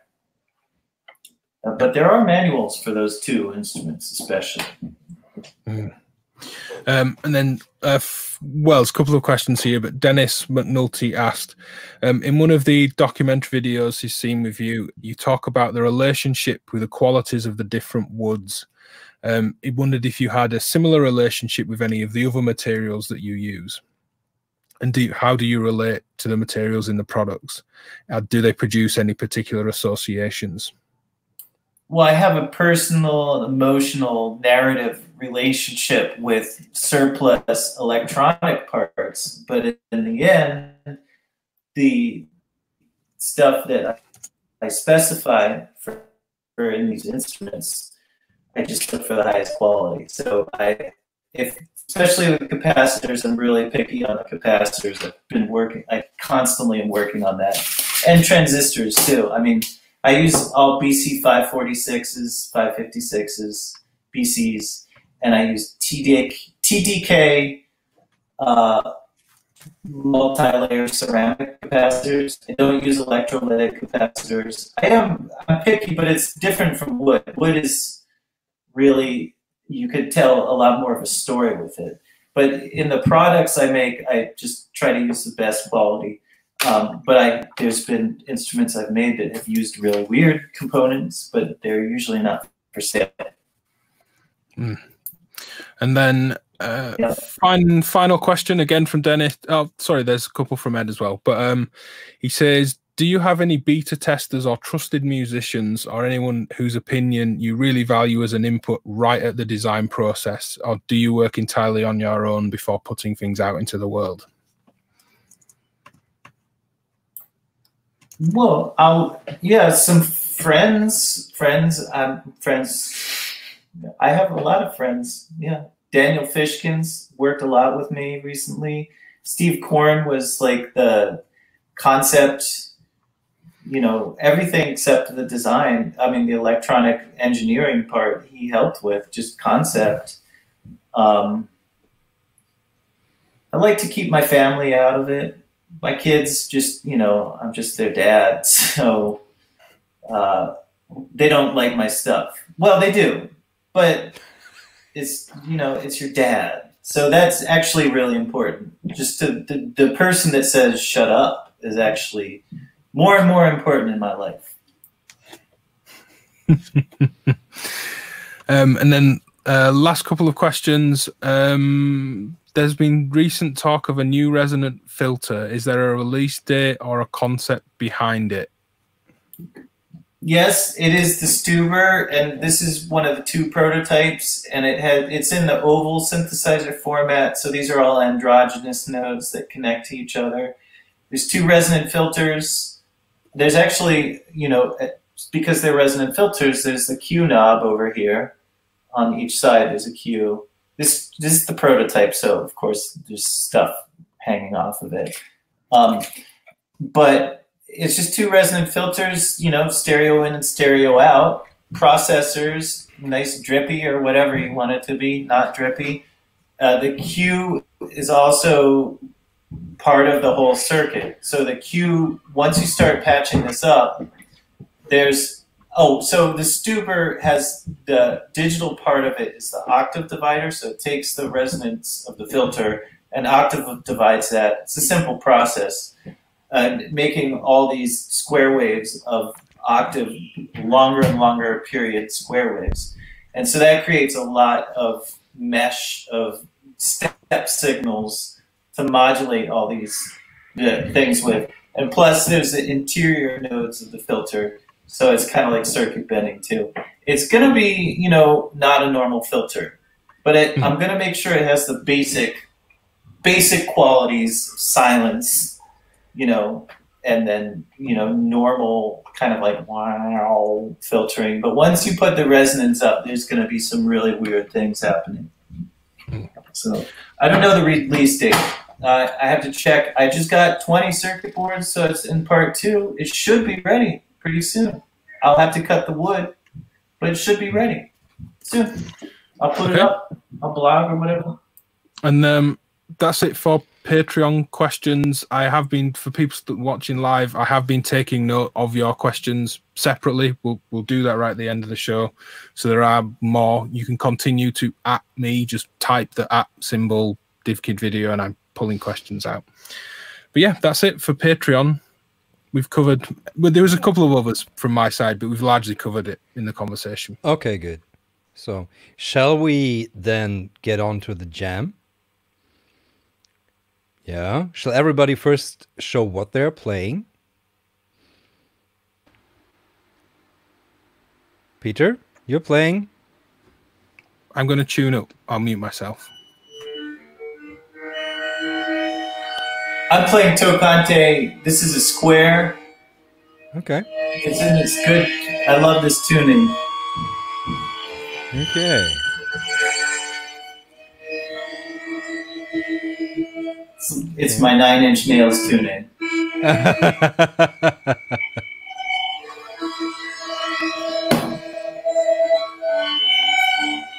that sounds very I good. have circle too. Okay. That's like a bird's alive. Lovely. Konstantine, you showed your uh, your kit before, so you're playing a Serge Resonant Equalizer, and Yep. And um, uh, field key effect, field key effects, um, spring reverb, just feedback patch, nothing else. Oh, actually, Okay. there's there's one thing that I really want to shout out to because I didn't show it earlier, and it's from Software Synthesis, which I've been waiting for this for a, for a while, and I think it it kind of suits the discussion today uh, Lance made this fantastic module called the Press, and Mhm. it's based on the Ondes Martenot, the synth thingy, Mhm. and you can actually and there's it has like two springs. It's actually wood inside, and then he's he's added the PCB on the sides.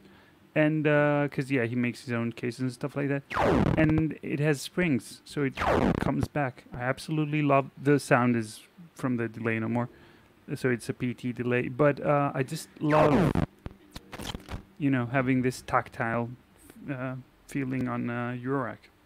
that's pretty squishy already there.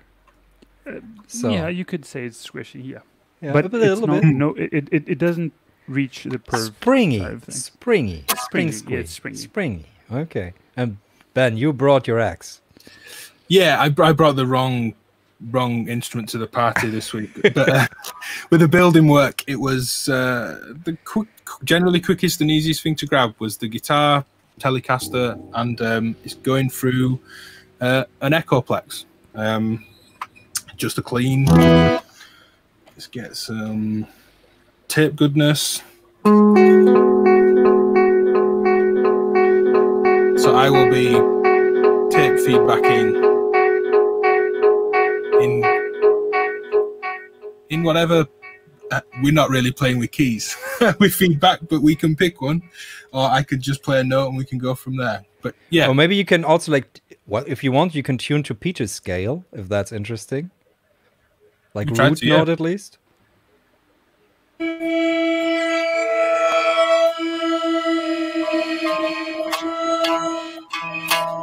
There's, there's basically four notes. i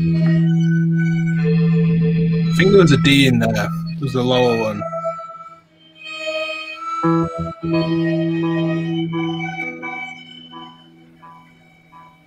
Mm,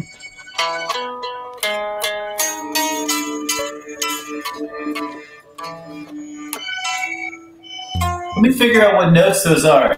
I could do like online computer keyboard, online musical, online MIDI keyboard. Okay, I got it. Oh, you got it? Oh, What your notes? I think like with this, these are the two that will fit, especially if I bend them. All right. yeah, that sounds right. So yeah, I'll be playing. Ben, you want to still tune?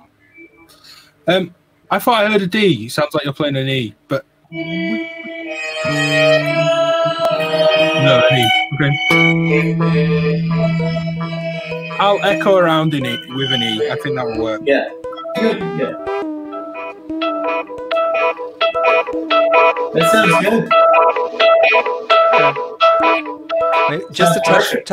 just a touch more quiet the guitar, just a touch, so we get more more headroom for the algorithm of the stream to do its thingy. Yeah, I'll come down a smidge. Okay. Yeah, we we'll need the chat as the master mixer in the end, but so the chat will have to say ah turn that up, turn that up, and we'll try to listen. But so yeah, so I'm playing uh the I forgot the name, but it's beautiful, and I'll be playing yeah this thing here. I'll be adding textures uh, from old uh, East German military uh, yeah radio transmissions. So I'll be doing that. And maybe I'll start with those. Then we can all find our way. So I'm gonna hit start on play here. It's playing. Turning down my microphone now.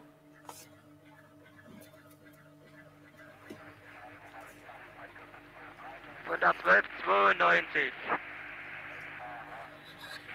1292, 1292, hier 1293, äh, hier 1290 kommen. Ihr letzter Spruch ist mir simpel nicht verständlich. Wiederholen Sie bitte noch einmal. Ihr letzter Spruch ist nicht verständlich.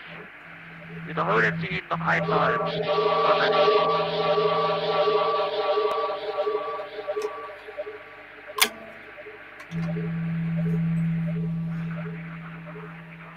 Zwölf 92, jetzt 90 kommen. Vielleicht etwas anders formulieren. Er ist für 750 nicht verständlich.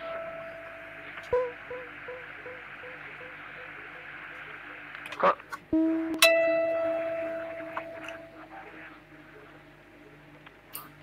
empfangen. Kommen.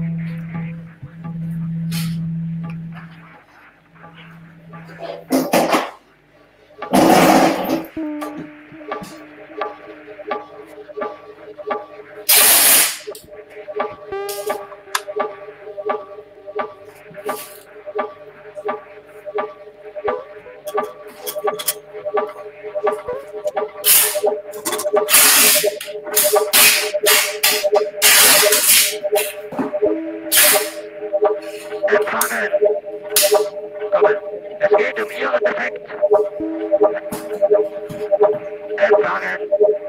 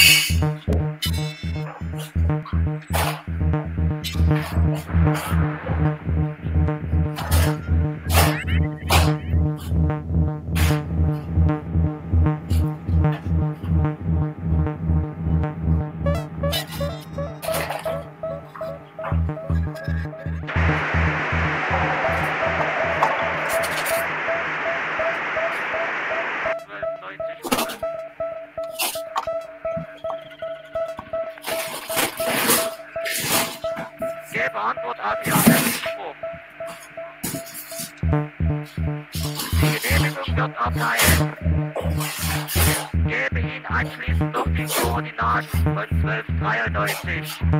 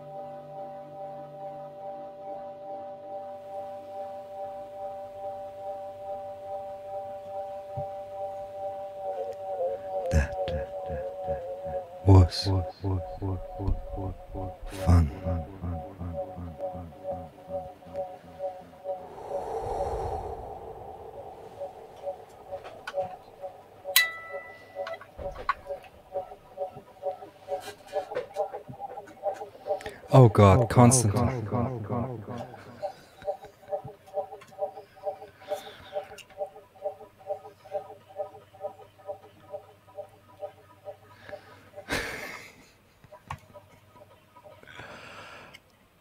Thank you, everybody. Oh! Such a good finish. Thank you. Oh, buddy, Konstantine. Do you realize you were muted? I only muted the microphone, not the sound. Ah, perfect. I have no Good, good. idea- People were have no worried idea I- what I- because I thought I heard you, but people were like, "Does I know he's muted?" No, no, no, no. I c- no no all the all If the, you- that Showed up if as you mute- if muted. you- If you mute you the mute- mic, the sound will also not be there. Yeah, if you mute through StreamYard, that's all of your audio muted. Yeah. So I could, I was just listening to myself play with you guys. Yeah, it just for your great. own. It, it's it it sounded great. You were working on the theme tune. You were working on the theme tune. no. Oh, No, no lovely. worry. There was l- Oh. tons of broken PT stuff, and it sounded fantastic. So Okay. Oh, I'm all about the PT. Ah, I like that description. Description is cool. Yeah. Oh, yeah. Oh, that was fun. I had really, like, for me, this, I mean, it might have been like these old school recordings also, but it gave me a really krautrock vibe, the whole thing, which I loved. Oh, There were, there's a, definitely a moment of needing a kind of yeah krautrock rhythm under it. Yeah, yeah. Yeah. So Yeah. Ah. Yeah, there I mean, a moment. did my tape sound okay, or did that just be? Did you hear the tape? That sounded Mm. great. Yeah, yeah, Yep. yeah. I tried to Very follow the rhythm. I'm not good at following a rhythm. But You can't follow tried- rhythm like because there's like a half second delay here. It Yeah. doesn't work really well. So, but it works fine in, in the end. So, I I think like it's for me on my side on everything sounded very clean, which was nice. So, I hope I hope the people in the chat everybody had fun, and I think people like I think at least from the donations that we got, I think. Yeah, they had fun. Thank you all very much for that. This is very nice and enables us basically to keep on drinking on these. So, thank you for that. so, but oh, perfect. Cheers. Where's my glass? Here's my glass. Cheers, Peter. Cheers, Konstantine. Cheers, Ben. Okay. Mm, Mm. Ben, I need to you, get you're some muted. You're muted. ah, perfect. I broke So- my glass sliding it on the guitar. Mm. Oh well, it's only a cheap glass. It's fine. Oh, okay. So now you have to you two have to drink straight from the bottle, or from the from the tasting vial. The vials like directly in. Yeah. Okay, so um, now I think it's time for last orders, which means it's uh, the questions that you asked in the chat. And uh, uh, thank you, Metahedron. And um, we're gonna go to these right now, I think. And Ben, I think you've collected quite a few. Um, and I Yeah. don't think we can get to all of them. Um, there's probably quite a bit of repetition in or conversations already answered some of them, or questions will answer further questions. But we'll we'll try. Um, th- there's a huge list. Oh well, okay. so let's set ourselves just set ourselves like a time limit. Let's say twenty-five minutes. If if we Max. anything longer, Okay. Peter, you might have to come back at some point then to answer all the rest. Okay. Uh, Jan uh, Henkel uh, said, um, syncing the Plumbutter 2 with the double knot 2, the Lorre-Mill device, uh, doesn't work as well as the other way around. Um, is the Plumbutter more resistant to voltages? I guess maybe talking about impedance mismatch or something. Yeah, it's just um, it doesn't have a formal sync input. It was not, I, as I was saying, it doesn't have. I don't think I didn't think of actually syncing to it because it's supposed to be unsyncable in the core. So I think you'll find a way. Mm-hmm. I'll play. I have no way to check that, but I could play it. Yeah. like that. Yeah, for those that don't know, the Lorre-Mill double knot isn't a Ciat-Lonbarde uh, device. Yeah. So, um, yeah, uh, Solar Broom asked, uh, "Can you tell us about the Free Guys vocal technique?" Yeah, that I made that up a long time ago, like in high school. I don't know. That's just one of you know those rules you make up for yourself that I was talking about that worked out in electronic engineering, but it's a musical rule for me, and I'm not. So, as far as executing it, maybe you better younger musicians can do that, take it and run with it. But yeah, so you have a normal guy you have your melody or your song or whatever.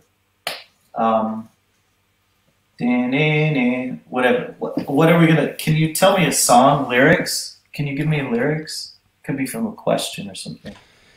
I see a red door and I want to paint it black. No colors anymore. I want them to turn black. Well, let's just do "I see a red door." I like that. I see, I see a red door. We'll just do that minor third. Okay, I see a red door. That would be your normal guy, and there's variation in that too.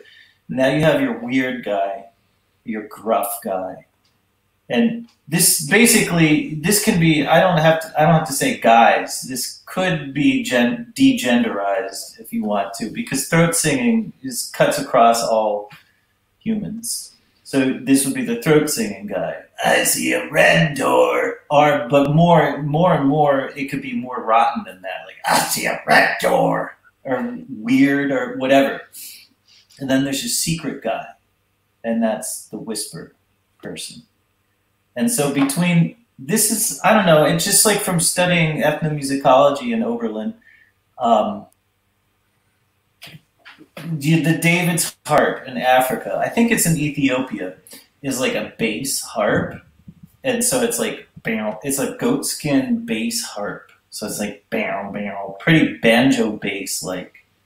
And then the guy that sings with it, he doesn't sing in a guy voice. He sings in a whisper, and that's because of an instrumental, like how how that work how they work that out. That they're supposed to balance this like bassy banjo instrument with this whisp, whisper. And so the whispering is because it came from the instrument that you have to whisper with it to like balance it. So it's just thinking of balancing textures. And then the normal guy is the normal guy, just singing.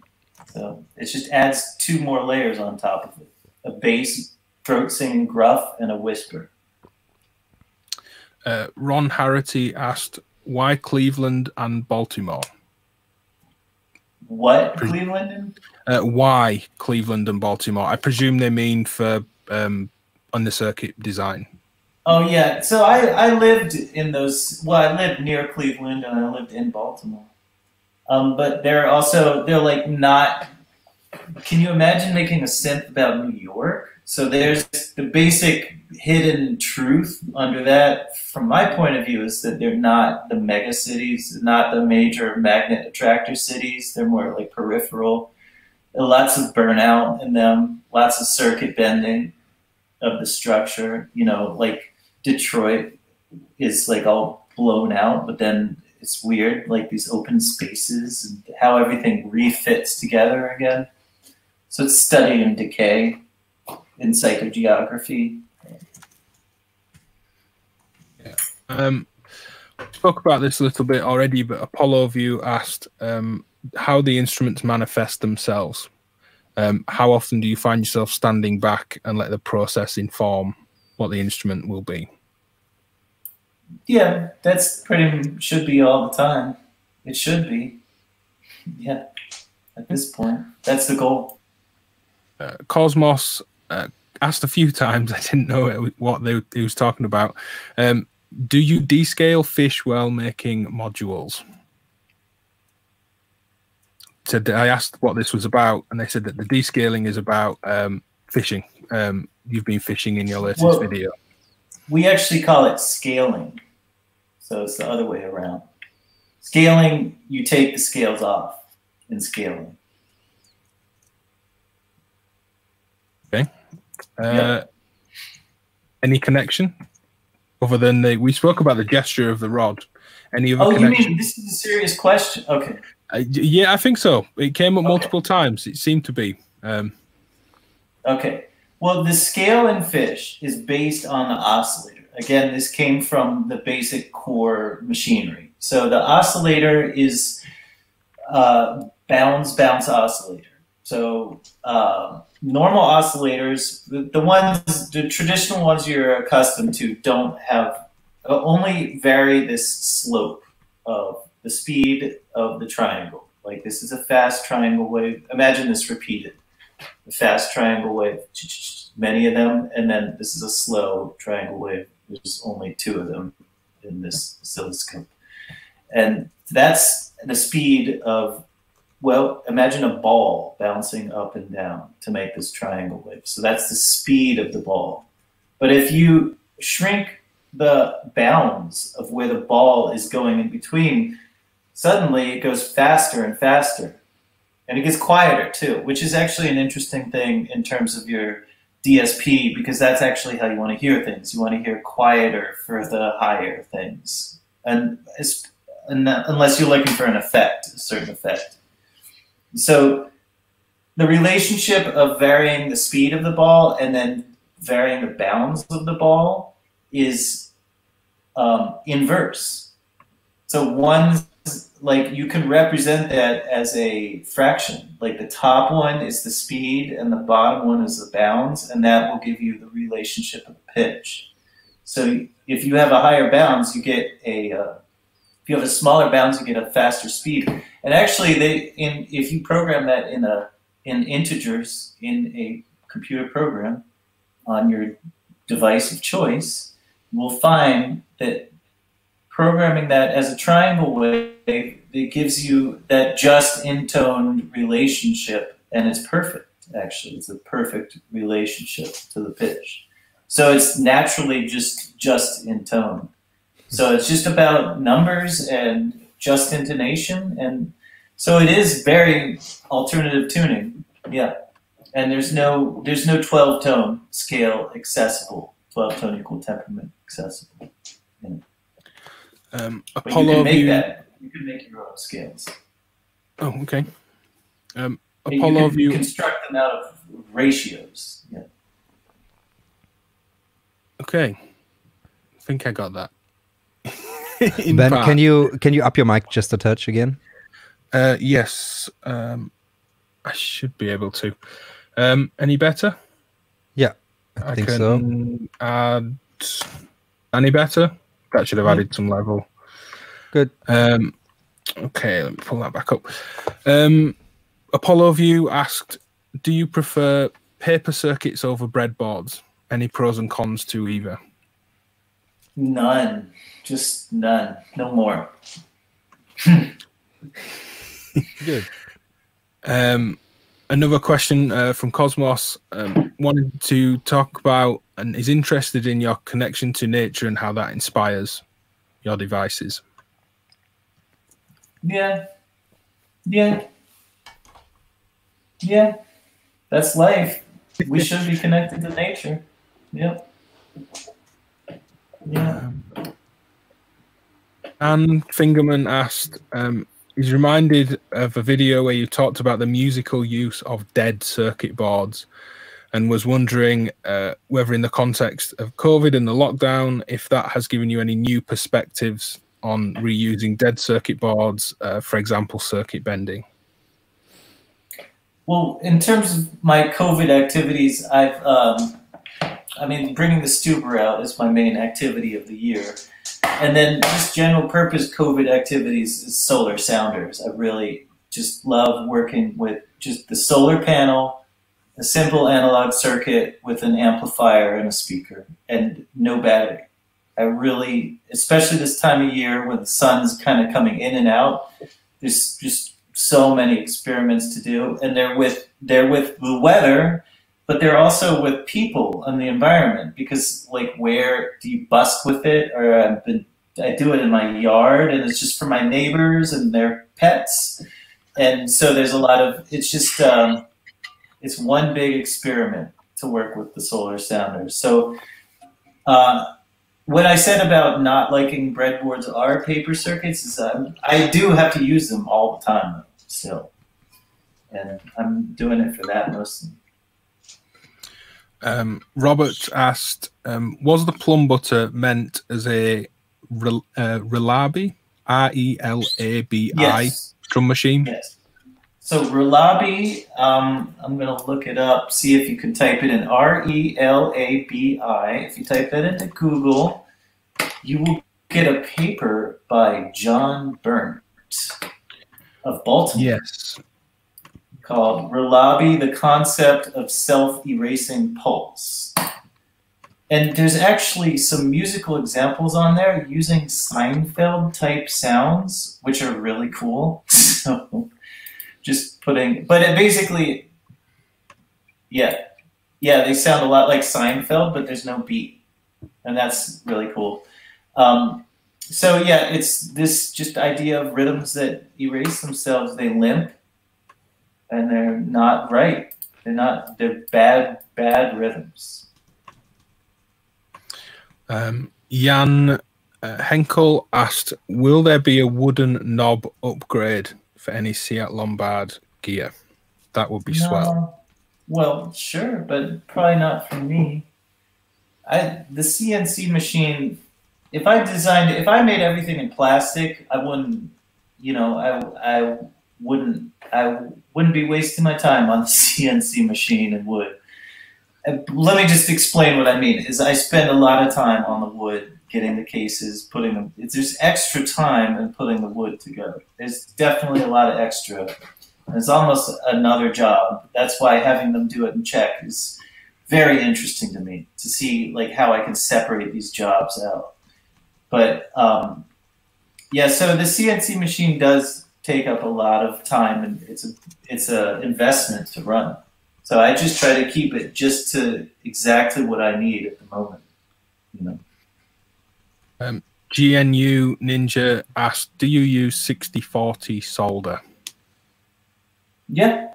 No, not no. I don't use lead. I use SAC, SAC, Stannum Argentum Cuprum. So tin, silver, uh, copper. Um, then uh, Adam Noise, um, what's next for the uh, Shbobo? We spoke. Did we spoke about that a little bit? Yeah, yeah. Um, I'm, I'll spell it out because I'm not sure if it's meant to be a name or. Um, but N P I C H O N one, Npython. Uh, Yeah. um, is it okay to re-oil the instruments? Is there any reason not to? Yeah, the the tung oil, Hope's organic, or no, Hope's all natural tung oil. Or you could use linseed oil, or um, yeah, you could use linseed oil too.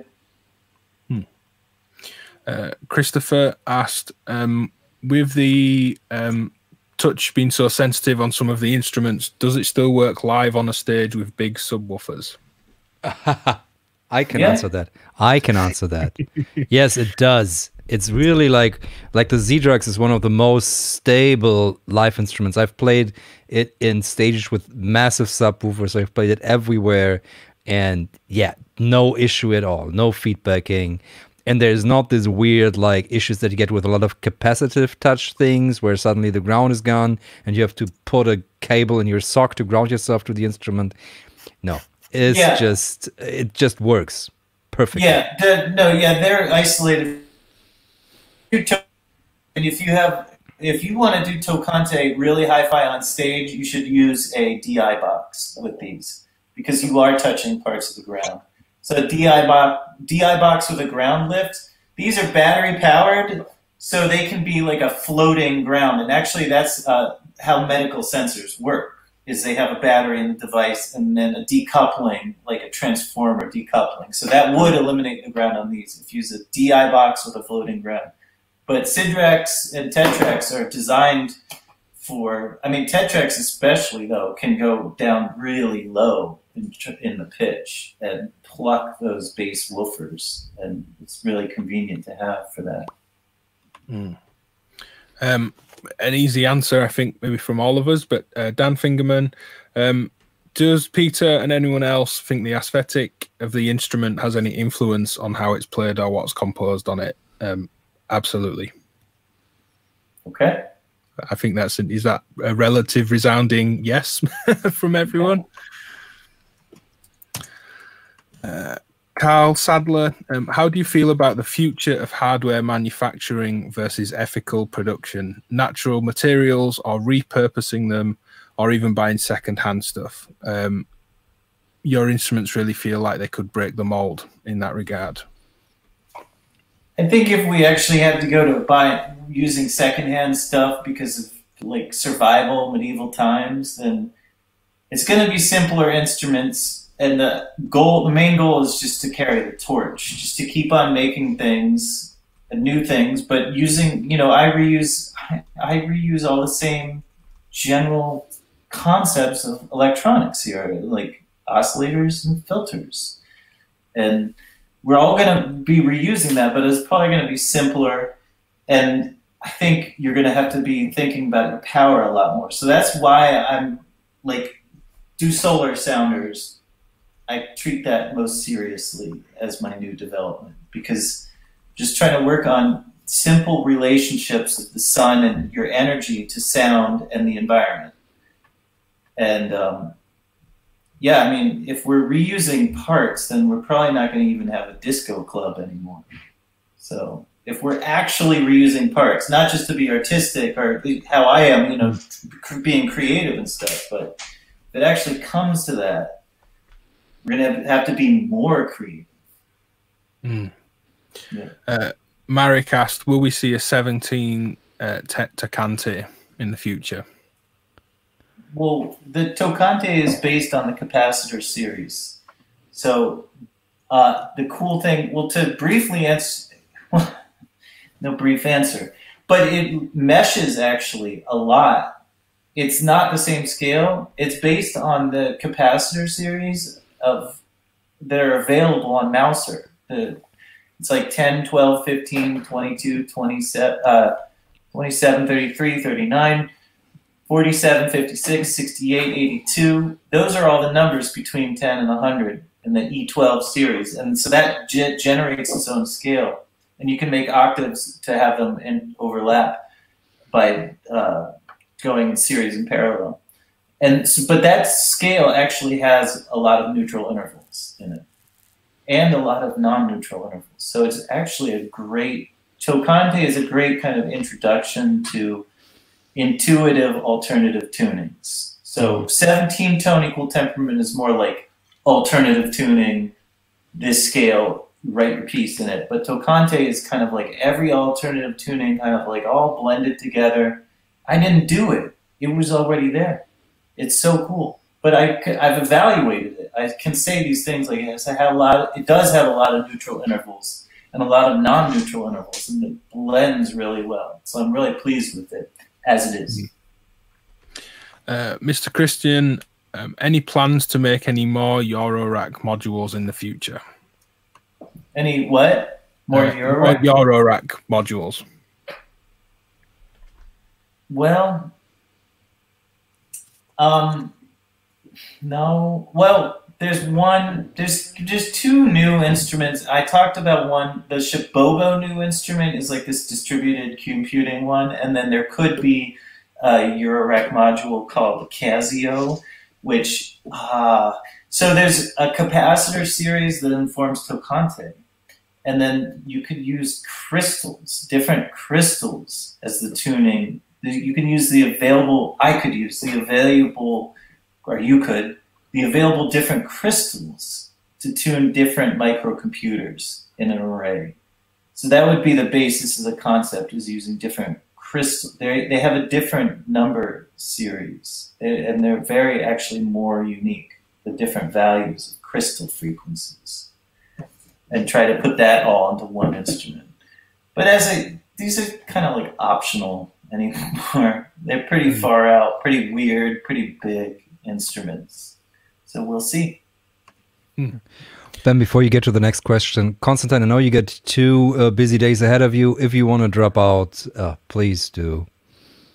Yeah, bye, Konstantine. I'm sorry it took so long. This No, was no it's super. It's a, that's it's a very good uh, thing. The interest is great, and that's lovely. But yeah, uh, yeah. See you around, man. See you in the next one. Yeah, get some sleep and hope the next few days go well. See you, Bye Konstantine. bye. So, oh, new view. I Aha. like. Um, uh, Toot of a Bean. Um, any is there any music that Peter is listening to that's inspiring you as a musician or as an instrument maker? Maybe expanding on the point about uh, clicks and cuts. Okay, well, don't get me started, but I, I just love jazz. I like, man, uh, when I'm outdoors, camping fishing, I really miss my jazz station back in the town. I really miss that a lot. I listen to new jazz for lunch. And, you know, I learned in Baltimore, I listened to the smooth, well, my mom would play smooth jazz for the dog when my dad died to comfort him. And then, so that was a seed of something there. And then in Baltimore, I listened to the smooth jazz station a lot and kind of piss off noise people who were my best friends. So I was trying to piss off my best friends with, new, with smooth jazz. But then I actually was like, this is actually good work music. I can totally solder to this all day. And I got used to it. And now I kind of know all the smooth jazz music, but I really like learned a lot of jazz too, like straight jazz, tre- I know everything. I know new jazz, smooth jazz, old jazz, every kind of jazz, weird jazz. I know all the weird jazz stuff. Now, we have a great station in Portland. It's KMHD they really are good actually and they you know jazz is a lot of times the voice of the politics that I associate with too. So I'm pretty proud about it. And I don't know other kinds of music. I don't know weird electronic music as well as jazz. And it, it did inspire me because Plumbutter was supposed to be like a free jazz drum machine. So cut jazz talk. Thank you for the question. Jazz. Jazz. Um, when your technical question uh, from Penelope Beats, when you're designing effects and sound processing, are you using dedicated ICs or do you just build from regular components? Well, that's what I was talking about with the chord proposal. Is I I actually build from components usually, and uh, I love the sound of just well, it's not the sound, but I just working with transistors from the scratch can be very rewarding because you can make a really elegant structure. You don't need a lot of the extra transistors and amplifiers sometimes. But uh, I was talking about making a dedicated VCO VCF chip that could be really interesting. But I just I haven't done VLSI, and I can do it. I know I can do it, but just have never had the opportunity to do it. VLSI is uh, chip design. Okay. Um, do you, same person, Penelope Beats, do you have an example circuit that you could share with us uh, to get a peek into your design philosophy and techniques?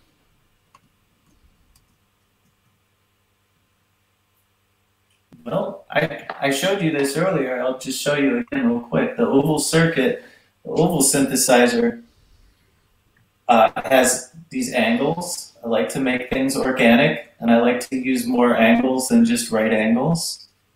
And but it's also geometry too. You know, it's actually I made up some rules about geometry that these angles would all follow perpendicular to the tangent of the oval. And then here's the nodes. These are nodes. And then they're on the outside. This is actually a great example right here. And then um, something about the construction is the pots treat the circuit board is part of the structure. So these pots actually go through the circuit board, which is a technique, a known technique. But these nice two millimeter circuit boards I, offer a lot of uh, structure for the instrument too to work with. Mm. Um, and then uh, N uh, M Python again, I think it was. Um, uh, question for them, I think for the synth, the SHNTH. Um, is there a good way to replace the battery on that device? I wonder if they're maybe struggling with that. Yeah, that's a it's a three cell nickel metal hydride battery, so 3.6 volts. I'm sure if you go on, I usually go to eBay. Um, well, not for ordering from for new instruments, but as a reference for something you could do, I would do a three 3.6 NIMH battery and pick one off there. 3.6 volts. Ben, I think- NIMH battery pack, something like that. And it's nickel metal hydride, so you can take it on a plane or whatever. Just Ben, I think we are like uh, 25 minutes are almost over. So maybe just one or two more, and then we call it quits for today. The list is probably longer, right? No, that was it. We we got Oh, through really? it. Um, oh, we got through it. So much of it, as I was reading through, it was like, oh, we spoke about that. We spoke about that in Oh, the chat. okay, you that question it. was asked by one of your patrons, so I've kind of filtered through all the things Cool. I pulled out, and we've we've covered it all. Oh, very nice. Perfect.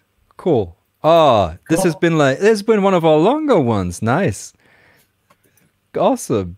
Peter, how uh I, I would love to have you on at a later point again if you're up for that because yeah I found this very fascinating and there's like a hundred things that I personally would like to ask you so maybe we'll find that at another time again Yeah. yeah.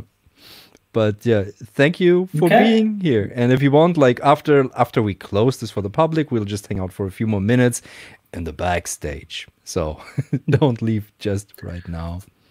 Well, hopefully, hopefully. Well, thank you to be- everyone, to everyone out there. I was just going to say that hopefully Peter will be able to be in Berlin sometime soon for Patch Point and hopefully Korg as well in the future. And um, maybe something can happen where we can all meet around that. People that can descend on Patch Point. That would be a really lovely meeting place. Mm-hmm. Mm-hmm. Yep.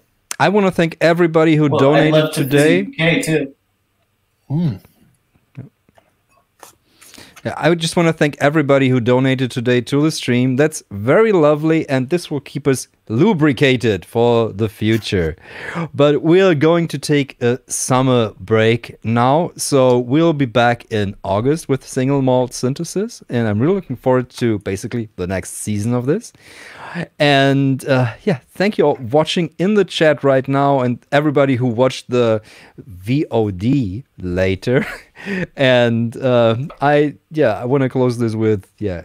Ben and Konstantine, uh, who's right now at home, uh, and Peter. This has been a lovely evening, and yeah, thank you out there, everybody, for watching. Great. Yeah. See everybody in August sometime.